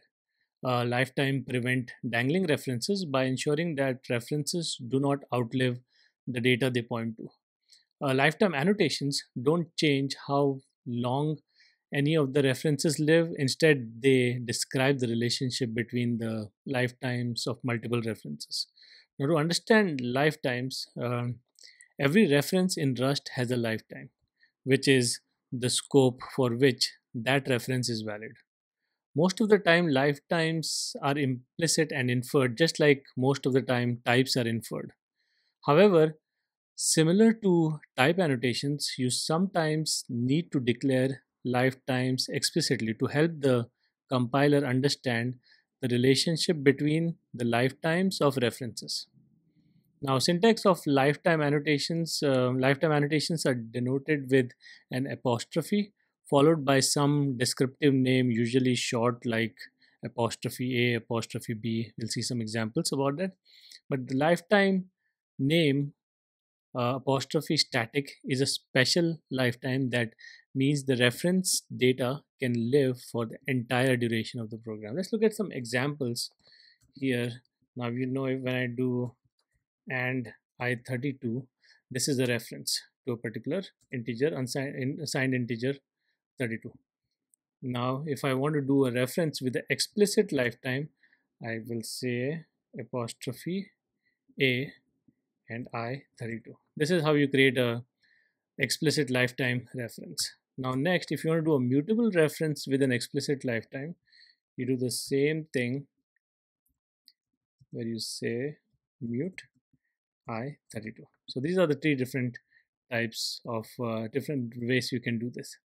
Now function signatures with lifetimes, how we, we do that? When defining functions that take references as parameters, you might need to specify lifetimes on the function uh, signature to ensure the references passed into the function are valid. For example, so if I create a function longest, I will create a lifetime for that. And then x one of the argument I'm going to give it a reference. A string and y is also copy this over. And this returns the same reference to a lifetime string. Now inside this I'll say if x dot length is greater than y dot length in this case return x else return y so in this example uh, the function longest takes two string references and returns a string reference. Uh, the lifetime annotation indicates that the return type's lifetime is related to the lifetime of the parameters x and y. That's why we have the same uh, same annotation. Now let's look at how structs work with lifetimes. When you are storing references in a struct, Rust needs to know the lifetimes of those references to ensure the data referenced by the struct is valid as long as the struct is. So for example, if I create a struct important excerpt, I give a lifetime and inside this I'm making an item for part and this one let's say string.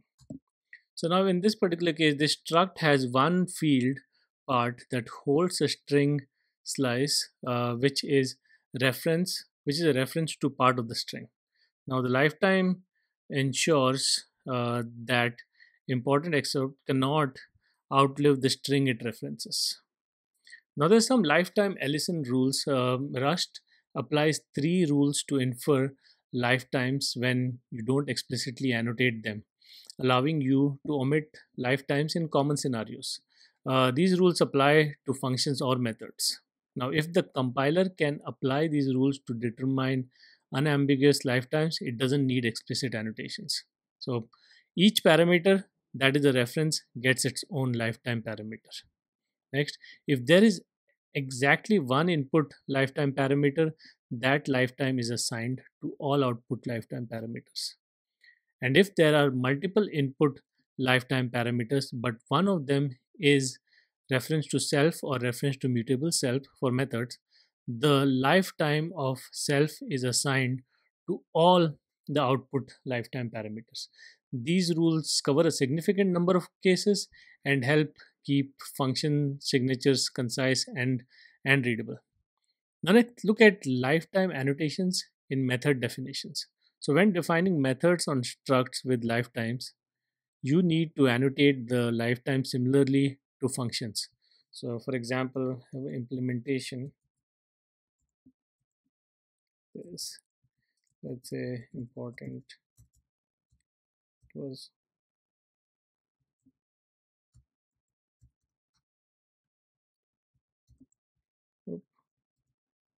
important excerpt and say a. Inside that I have a function which has a reference to self i32 this returns back. Let's say 3 function. Announce and return. Part pass it a reference to self and announcement of reference to self. And this returns back a reference to string. Oops I think this is reference to string yes. And then inside I'll say print ln and say attention please give it a value of the announcement. And return here self dot part. So if you see how the how the lifetime annotations and method definitions work.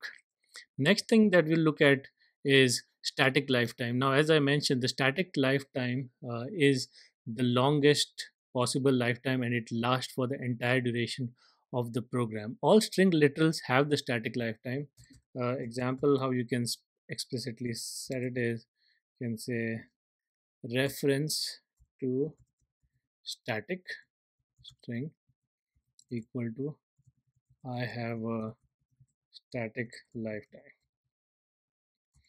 So lifetimes are so this is how you can define a static lifetime to a string which has which will live for the entire duration of the program. Now, in conclusion, lifetimes are a fundamental part of Rust approach to memory safety. They allow the compiler to ensure that references do not do not outlive the data they point to. Uh, by using lifetime annotations, you help the compiler understand how lifetimes lifetimes of different references relate to each other, ensuring that your Rust programs are both safe and efficient. While the compiler can infer lifetimes in many cases, thanks to the lifetime elision rules, understanding how to manually annotate lifetimes is crucial for working with complex scenarios uh, where the compiler needs your guidance. Uh, so if you have any questions on this, please uh, leave comments and I'll get back to you as soon as possible. Thank you. Welcome back and today we are going to look at Rust collection. Now Rust provides several collections in the standard library for storing a variable number of values. Collections are more flexible than arrays or tuples because their size can change if their contents are stored on the heap. The, the most commonly used uh, collections are these three vector, uh, which is also represented by vector t, allows you to store a variable number of values next to each other. Next is string. A string is a collection of characters. It's growable, mutable, owned, and UTF-8 encoded string type. Uh, next is the hash map. Uh, hash map has KV, which is also key, key value allows you to map keys of the type k to the values of the type v. It implements the associates associative array uh, data structure. So let's look at um, vectors in more detail. Now vectors allow you to store more than one value in a single data uh, in, a, in a single data structure and all values must be of the same type. Vectors are implemented using generics. Uh, that's why vectors uh, in angular bracket you'll see t can hold any type. Now let's look at how to create a vector. Now if I want to create a vector, say let p and then of the type vector and inside that I want the data type of i32 equal to vector new. This is how you can initiate a new vector. Now how do I use this vector? So let's look at that and say let v equal to vec 1, 2 and 3. So this is how you can use. Uh, how do you update a vector? To update a vector, let's say I have a mutable vector. Vec new. And now inside this I want to push some value so I can just say push. And let's say 5 you can similarly write it a bunch of times as many times you want. 6 7 8 this is how you can uh, push values or update a particular vector. Now how do you if you want to read elements from a vector and print them out let's say let's third 32 equal to and I'm going to give the value of vector 2 so I'm going to just go ahead and comment these out for now and then in here I'm going to say print ln the third element is third. So in this case, what will happen is, let's go ahead and run this. So you'll see the third element, okay, spelling mistake there. Third element is 7. the Why is it saying 7? This is the first, second, and this is the third element because we created a new vector and we pushed in there. If you push numbers just to make sure that gives you values properly here it is so that's how you can use it you can also use the match I can say match v dot get 2 now I'm gonna say Some if it matches I'll say print ln. The third element is third. If it doesn't match let's say use the none print ln there is no third element so I'm asking get me the third element. And let's run this. So when I third element is 3 so what it does is it tries to get the third element 0 1 2 and if this does exist it's going to say that if it doesn't exist it will give an error. So if I go again it will say if you check this out it says index out of bounds. It gives me the error saying that there is no third element in there. Uh, so that's with vectors now let's look at strings now strings are a collection of characters uh, Rust has only one string type in the core language which is str the string slice type uh, the string type, which is provided by Rust standard library, is a growable, mutable, owned UTF-8 encoding type string, which we saw before. Now let's go ahead and see how we can create a new string. comment this vector code out or get rid of that. And if I want to create, let's say, mutable string, you can see, you probably have seen this before in some of our examples, but this is how you can create a new string. Now to update a particular string I can say let's say if I have this string that I've created uh, with some let's say call it mut foo dot to string. So i'm saying that take this set of characters and convert that into string. And then i'm going to say s dot push underscore string bar. So now this will take this string and then add bar to it. Now also there's concatenation. Now you can use do concatenation uh, with plus as many other languages or you can use the format macro. So what do i mean by that? Let's say that create one s1 equal to string from hello so i'm creating a string here and then i create s2 you know what's going to go inside that? I'll just go ahead and copy this and i'm going to say world so I have the hello string and the world string and what I'm going to do is I'm going to create another string say s3 and inside that I'm going to say use s1 and s2 concatenate now instead of doing this you can also do this here. What I'm doing is s1 has been moved here and cannot be used anymore. But s2 you're just passing the address location of that so it knows what the value is so that's just another way of doing it. Another option is I can say s let's say 4 using the format I mentioned. So format macro and inside this I can say this space this and I want to have s2 and s3 in this. The reason I'm using s2 and s3 is because s1 doesn't exist anymore so it will concatenate these two strings.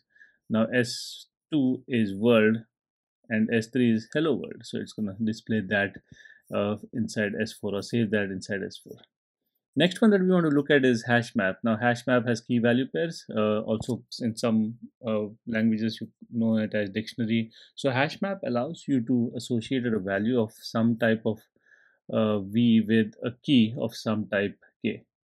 So what does that mean? Let's go ahead and create uh, let's for this first of all I'll need the library. So I'm gonna say use from the standard library of I think it's collections and I want to use hash map from there.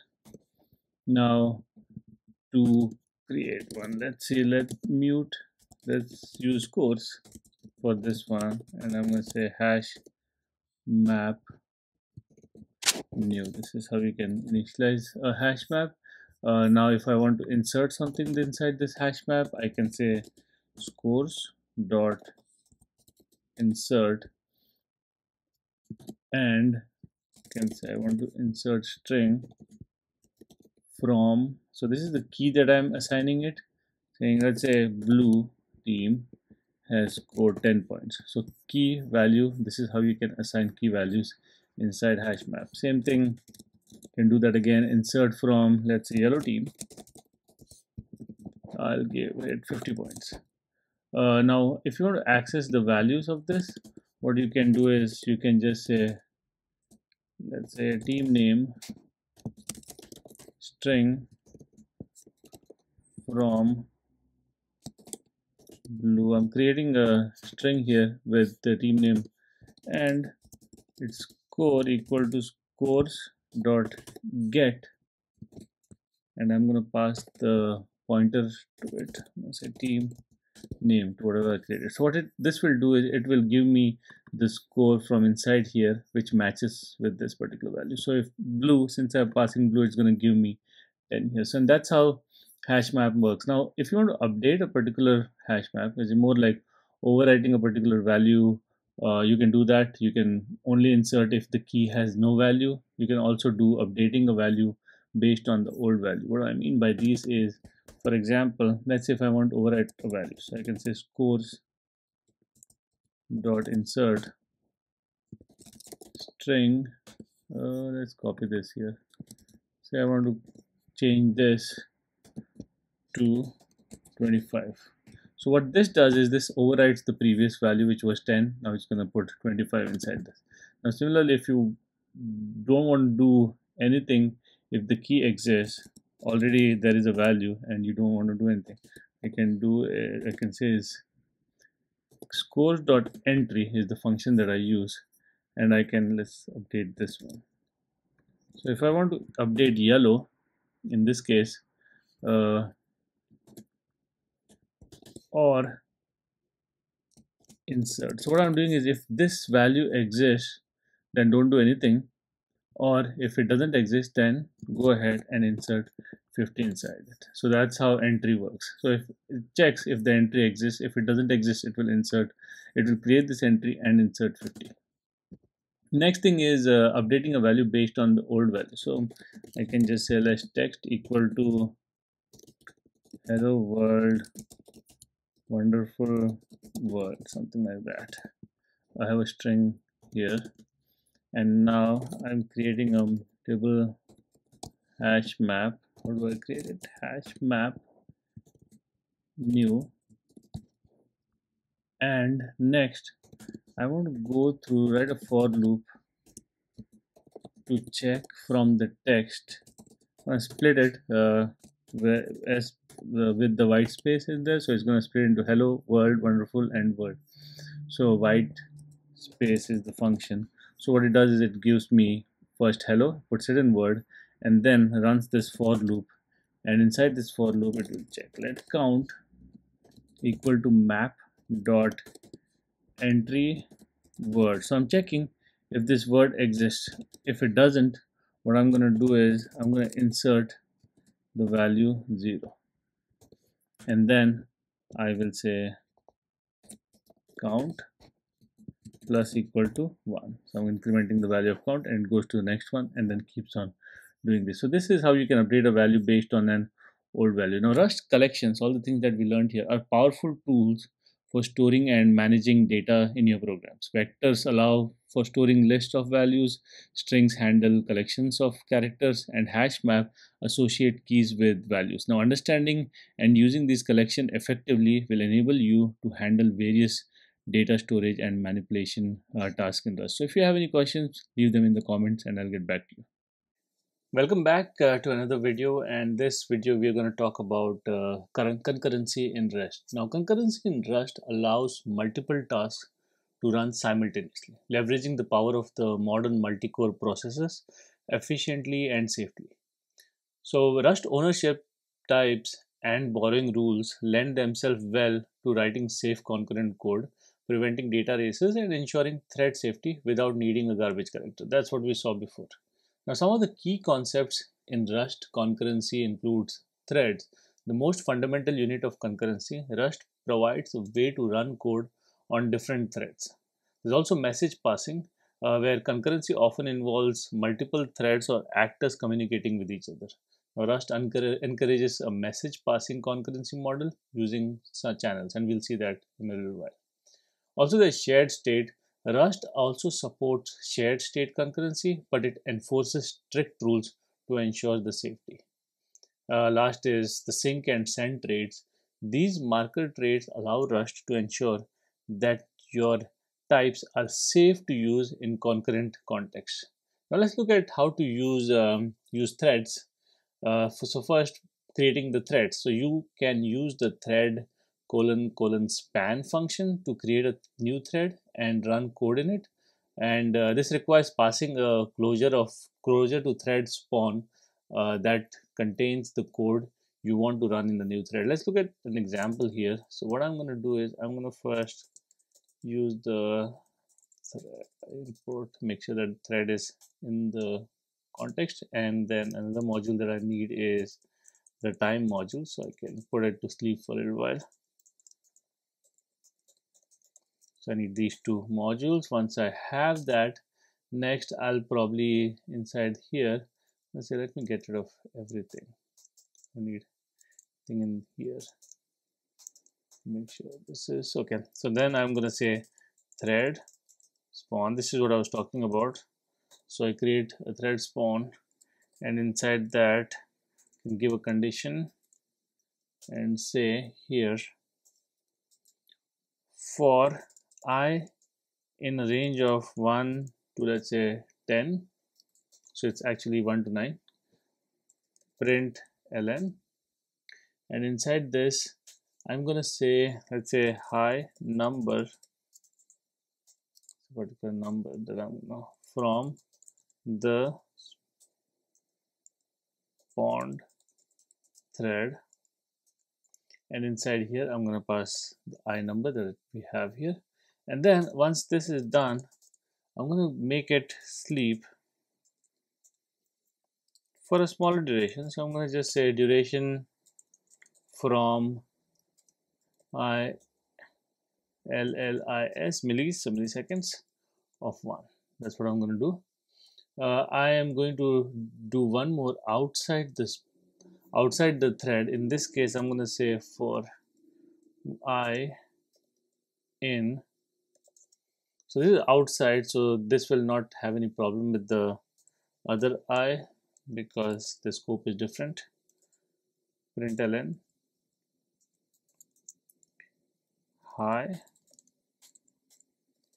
number from the so whatever I do here is the main thread.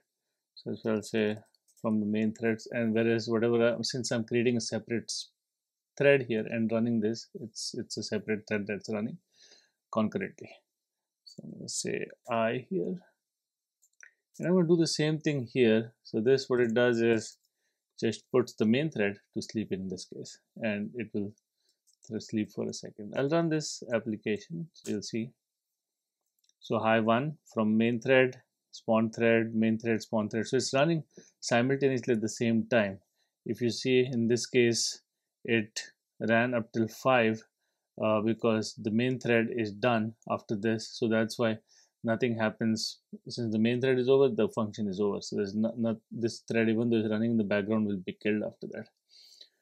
So you have to be careful when you spawn threads and if your main thread is not running then the side threads will not run. It will close the application. Now waiting for threads to finish you can use the join method on the handle returned by thread spawn to wait for the thread to finish. That's another way of doing it where you can just say so for example i can go here and i can say let handle equal to and to make sure it runs. To do is join dot unwrap.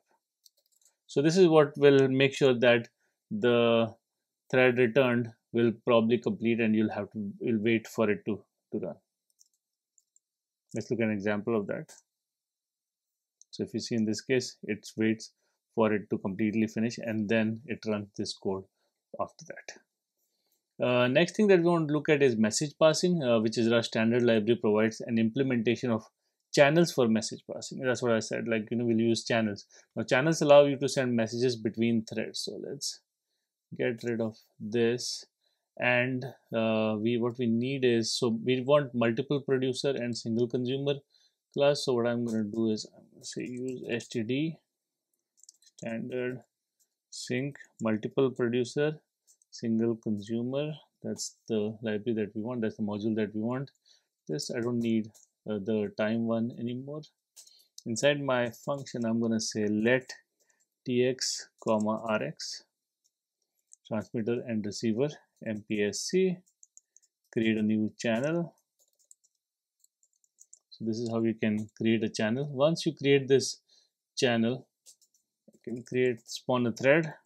How do you spawn a thread? Spawn a thread. I can say move or run this. And inside this I'm going to say let message equal to string. So the message that I want to send so I want to send a message hi. I say transmitter dot send msg and unwrap that. So that's my transmitter sending the message. Now let's see if the receiver which is the main thread received the message. Seed equal to rx dot receive and let's say unwrap here I think I forgot the dot and then I can go ahead and say println Oop, I got that what did I receive let's see got comma received. So I'm printing that out. So let's look, let's check how this message passing is working. And if you see here, it's saying could not compile Hero Rush due to one previous error. Let's clear this and uh, okay, so I forgot. Uh, so I have my MPSC. Where did I forget the? Okay, here. and there you go got high so it sends high and this this uh, thread that was spawned it uh, sends high and it's received by so you can send messages between threads so if you want to a particular thread to do something and then once it's done send a message to the main thread you can have the, this channel created and uh, send these messages next is the shared state concurrency now rust ensures safe shared state concurrency using its ownership and type system uh, the mutex and Arc types are particularly useful. Now let's see how to use the mutex. Mutex allows only one thread to access some data at a given time. So I have my sync. What I need is I need mutex and I'll also use arc right now.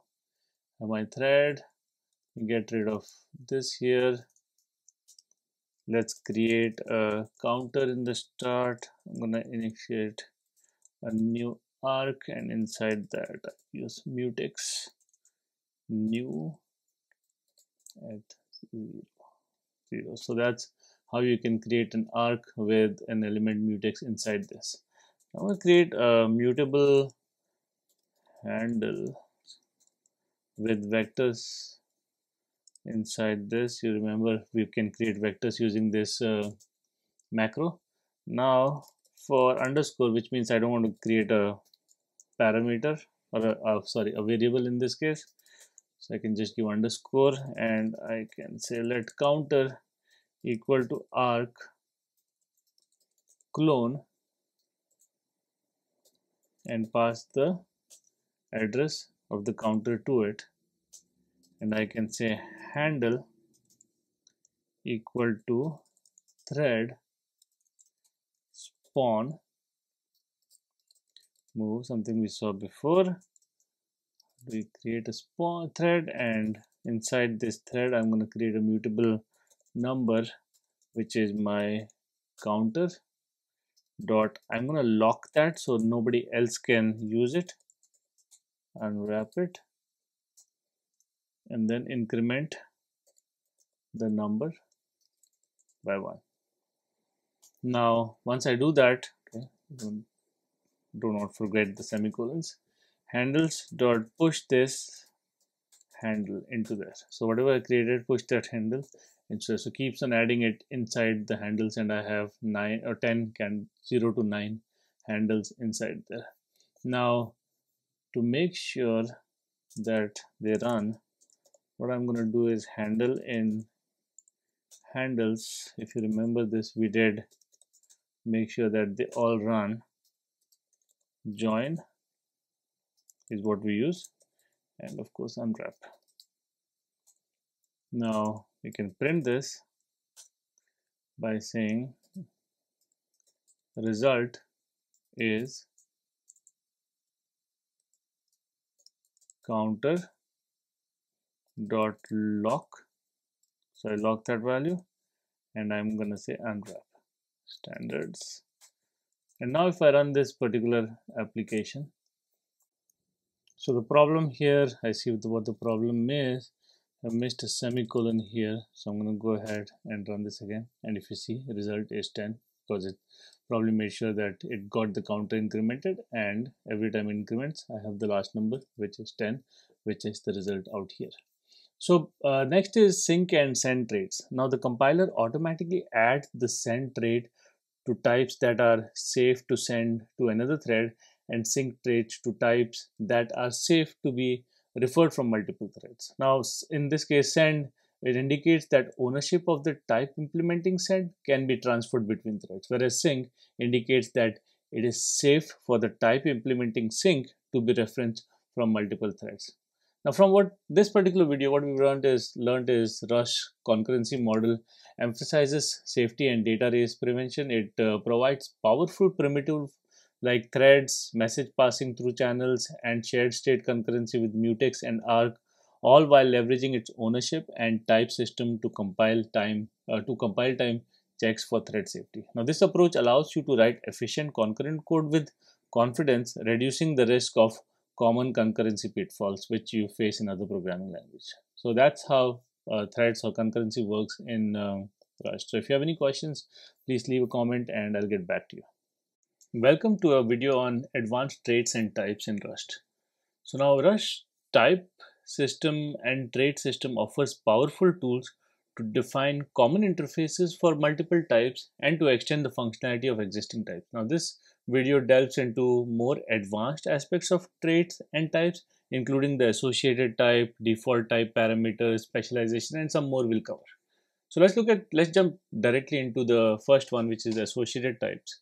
Now associated types connect uh, a type placeholder with a trait such that the trait method definitions can use these placeholder types in their signatures. There are there they are a way of defining a trait that uses uh, one or more types without specifying what those types are until the trait is implemented. Now let's look at the iterator trait. Uh, if I want to say the way I do it is I'll say pub trait iterator and it's of I have type item inside it and function next. So since I want to iterate through I'm gonna create this next function and inside that I'll pass the mutable copy of self and I say option with self item so this is how you can iterate over items using the iterator trait now in this example item is a, an associated type uh, for associated type of the iterator trait. Now implementers of this trait will specify what type item is for their particular situation.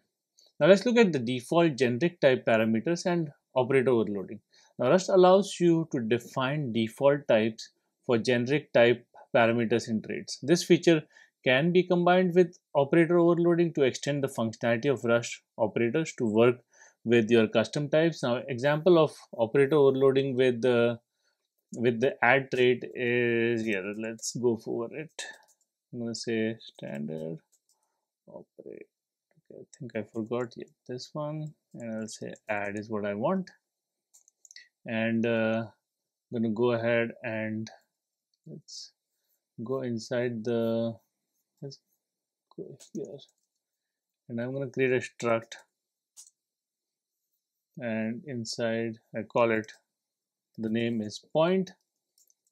X is I have two parameters inside i32 and y of i32 so two parameters for this struct. Looks good here next I'm going to implement the add trait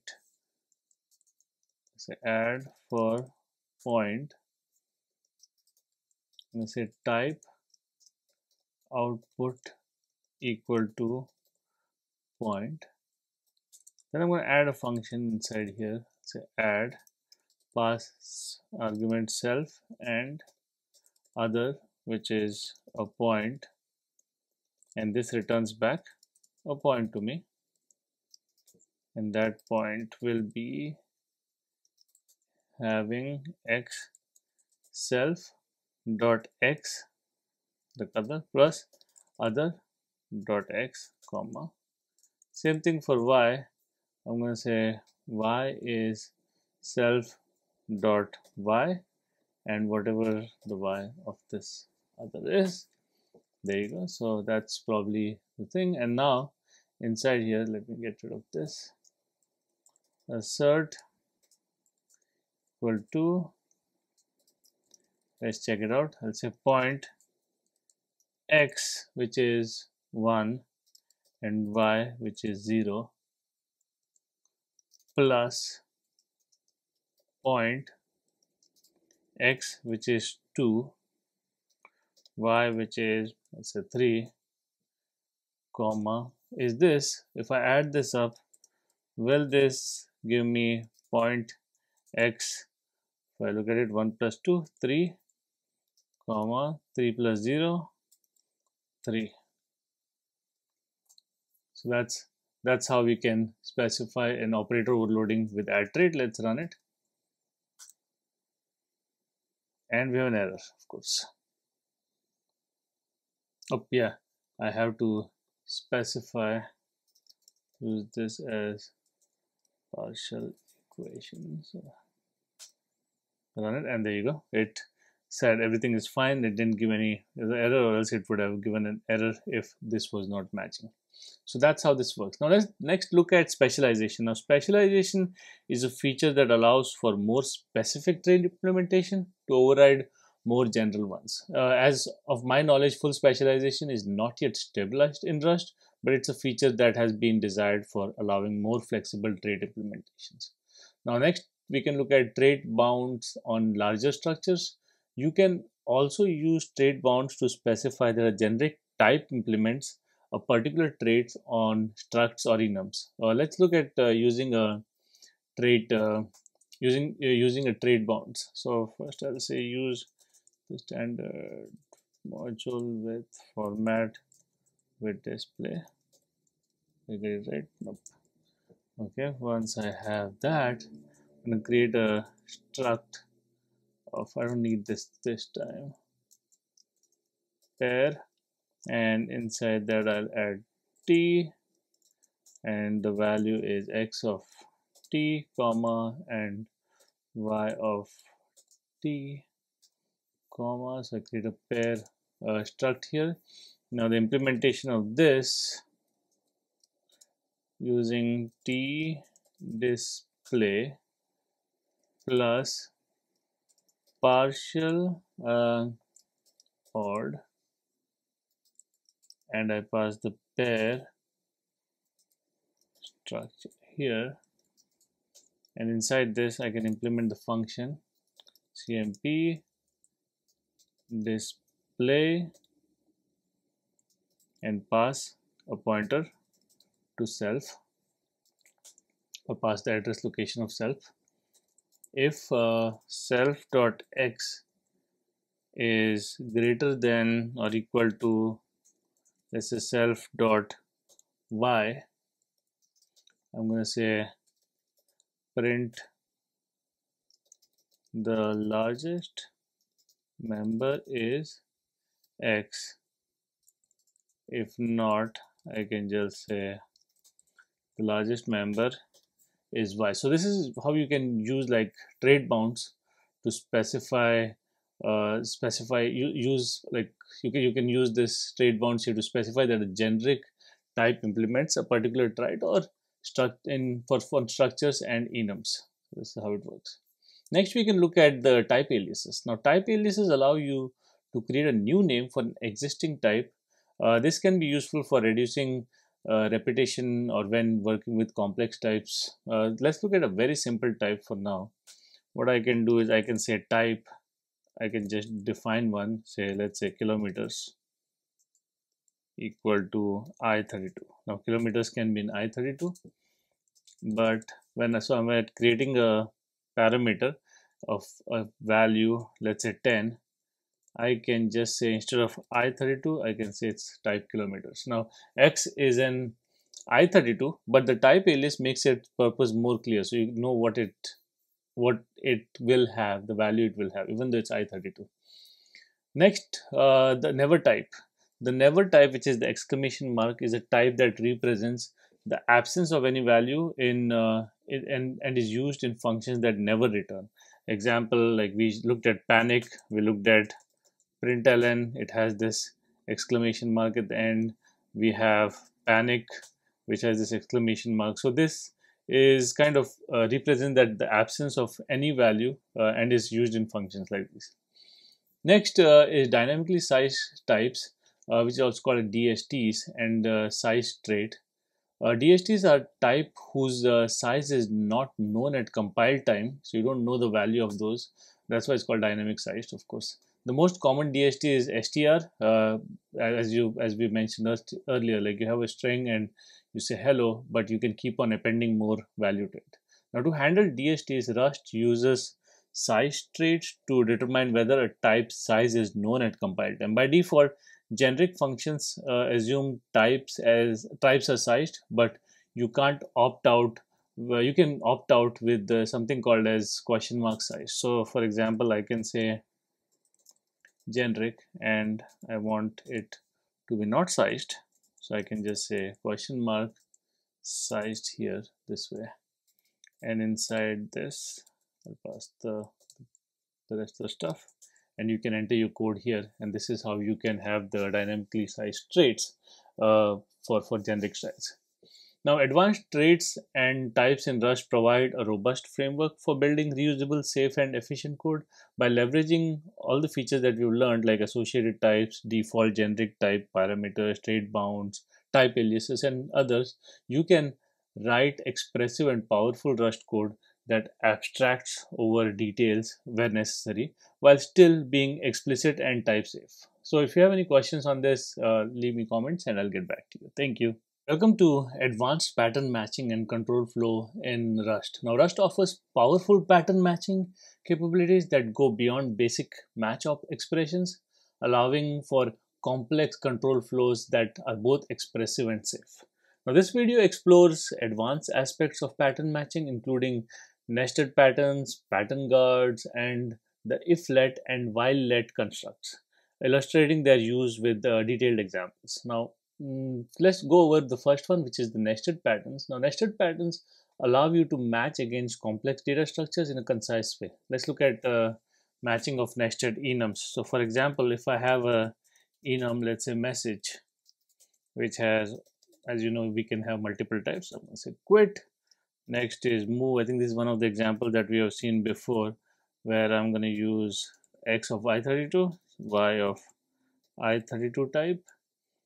I'm going to also have a function here which is write with takes string as input. Have one more which is change color. And this are i32 i32 i32 so these are three, three parameters here. So this is my enum. Now let's say if i say message equal to new message and call change color 0 comma 160 comma 255 as long as it's under 255 next i'm going to say match message.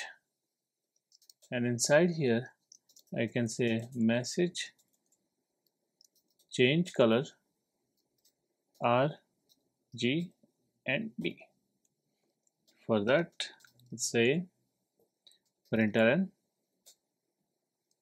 change the color to let's say red is this green is this and blue is this and inside here I can give those values R, G and B. Okay. Oop. Oop. wrong things I'm deleting. Okay and then for no options I can say nothing. So this is how it how you can have like uh, matching of nested uh, nested enums inside here. Now let's look at uh, pattern guards. Now pattern guards add an extra condition to your pattern allowing for more precise control over uh, the match uh, arm that is selected. So for let's look at an example. I'm going to say let num equal to Some of value 4 now I can say match num. In this case I'll say if Some is x. Now I'm doing more of a pattern guards here. If x is less than 5 then I can say println less less than 5 what is the value of it? If I want to print it out I can just do this and say x is the value. Close it. Next is I can have another one Some of x. So this will be called if it's anything more than 5 println and inside that I'll give the value of x and if it doesn't exist also catch that.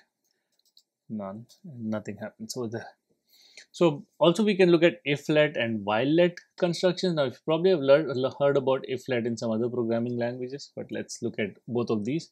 Now these constructs provide a more concise way to handle patterns that match only one case making the code easier to read and write. So let's look at the if let example.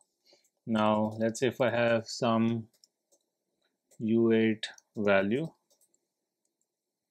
which is Some and 0 u8 that's how you specify. Now I can say if let Some oops Some uh, 0 is equal to some u8 value print println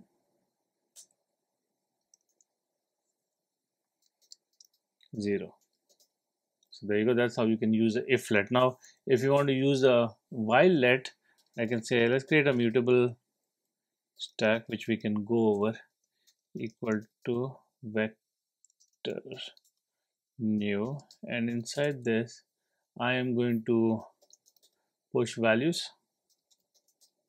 Get rid of this so we have enough space here. Push 1 2 and 3 so send 3 now using the while let loop I can say Some set top value equal to stack dot pop. So I'm stacking values from that. Println get the value. Here top. So this is how you can use while let implementation Next, we can look at uh, matching with the at the rate bindings. The at the rate operator allows you to bind a value to a name within a pattern, enabling you to test a value and save it in a variable simultaneously. Let's look at an example. I'm going to get rid of this. enum message, let's say hello, have a value of type ID, I32 inside that and let's create a message which is of the type message and the type hello with a value. I'll have to give a value to ID let's give 5 and next let's try to do the match with the rate binding in here. So what I'm going to do is say message hello id is id underscore let's say variable at the rate oh, at the rate 3 to 7 which means from 3 to 7 then what do I want to do with this? I want to say println found an id in range id underscore variable. So it kind of does that binding for this uh, where you can check in a particular range. Similarly or another thing that I can do is I can say what if it doesn't match right? So I can say hello. And just use the same let's use the same one. So inside this id but this time I'm going from 10 to let's say 12 found an id in another range. Give it the value here. I can pass the value but it's fine. Uh, and another option is copy this. Inside this so the rest of the things which doesn't go in these range I need to print that found I'll say some other ID and print I can print that out if I want. But this is how you can use the at the rate bindings for finding in this case more on the range side.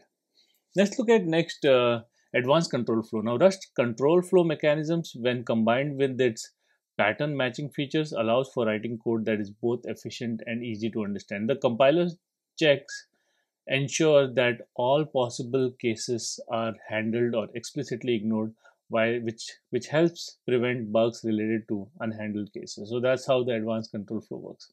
Now, in this video uh, of advanced match pattern matching and control flow in Rust, uh, provide a robust toolkit for dealing with complex data structures and control flow scenarios elegantly. Now, by utilizing nested patterns, pattern guards, if let, while let constructs, and at the rate developers uh, can write concise, readable, and safe code that is also efficient. Now, these features in, are integral to Rust design philosophy.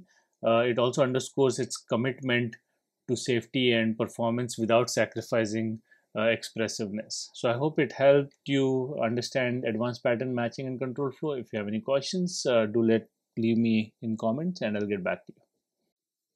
Welcome to asynchronous programming in Rust. Now asynchronous programming in Rust enables efficient execution of concurrent tasks, crucial for building scalable systems and applications that perform IO-bound operations like web servers or databases.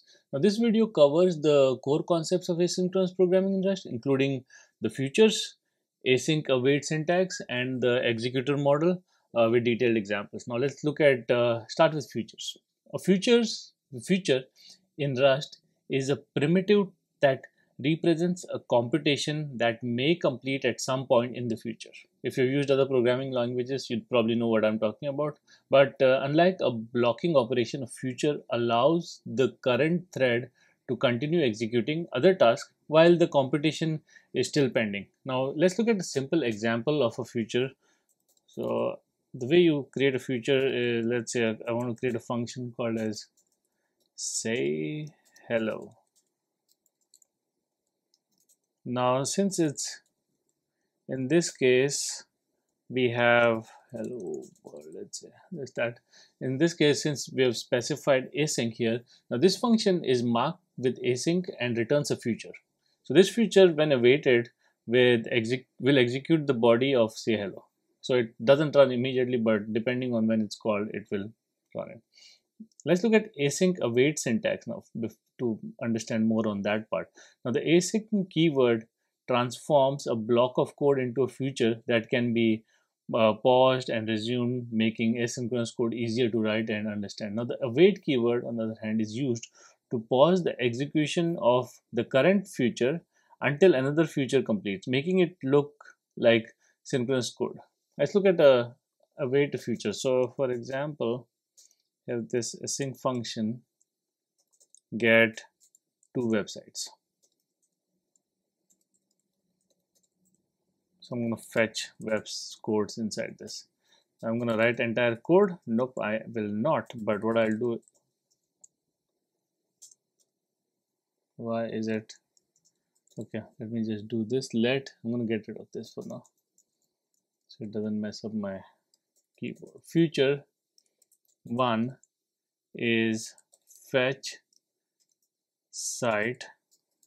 And I'm going to give let's say https let's say www.google.com and I want another one which is let's say bing.com fetch site 2 so I'm so assume that this fetch site function is an async function that fetches the site's content now let's await both futures uh, to complete. So what I'm going to do here is I'm going to say let result of 1 equal to future 1 dot await.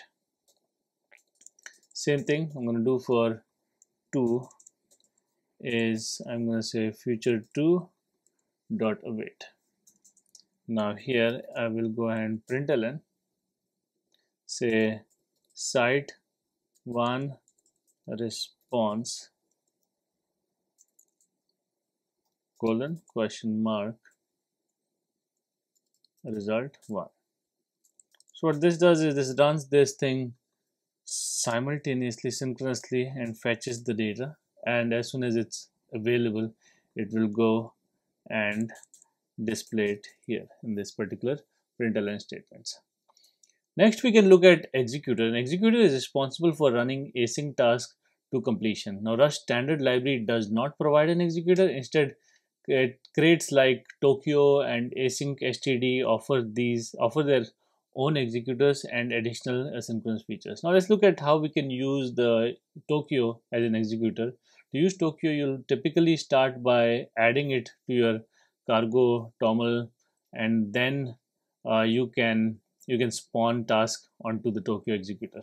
Now let's look at how we can actually create a function async function main. Now if you want to use this dependency, you'll probably have to add it to your uh, to your uh, to your toml file. I'm gonna skip that for now, but I'll go directly to this and I'm saying that I'm using that Tokio here and uh, inside here I'm going to say let future equal to say hello our previous async function that we had created which we have don't have it right now but this is how you can use uh, an executor. Now next let's uh, talk about combining asynchronous operations. Now rust async ecosystem provides several utilities to run multiple asynchronous uh, operations concurrently or in sequence such as futures join uh, for concurrent execution. Now let's look at uh, how that works. So I'm going to use an async, an async function, get many sites, why just two? And inside that, since I had those code ready, let me just make sure that have them here. Uh, let's say I want to get from Google I want to get Bing and I want to get Yahoo three different websites I want. And then I can say let result uh, one. Actually I can make it a tuple. A result two and result 3 in a tuple get it by doing futures join and pass. Make sure that it's never is there. Future one future one future two and future three are in here. So this is how you can like combine asynchronous operations together using the futures join function. And uh, you can print the results if you want after this uh, 1 2 3 and you'll probably have that. Now error handling in async code. It's one of the interesting parts because you need to figure out where the error actually happened. Now handling errors in asynchronous code follows similar patterns to synchronous code. Uh, you can use using result types and the question mark operator within async functions. If you don't know what i'm talking about you can go back to the error handling video uh, now let's look at an async error handling. So let's say I have a, let's rewrite some of the stuff. Fetch uh, site and it takes a parameter of URL which is a string and it gives back a result string request error. So this is how you can use that error uh, error handling result uh, object. In here I can say let res equal to request get URL based on what is passed and I can call the await which might have a error. If doesn't let's take the text also add an await next to it so this is how you can have your code return for handling async error uh, async errors. Now from this video what you learned is like async programming in rust facilitated by futures and the async await syntax allows developers to write non-blocking code that is both efficient and easy to understand. Uh, by leveraging executors and uh, asynchronous utilities you can create highly scalable and performant applications. Understanding the pattern uh, and principle of async programming in Rust for working with modern input-output bound and concurrent applications. So this is what we have learned here and if you have any questions uh, ping me up uh, you can you can uh, write comments below and uh, I'll get back to you. Thank you.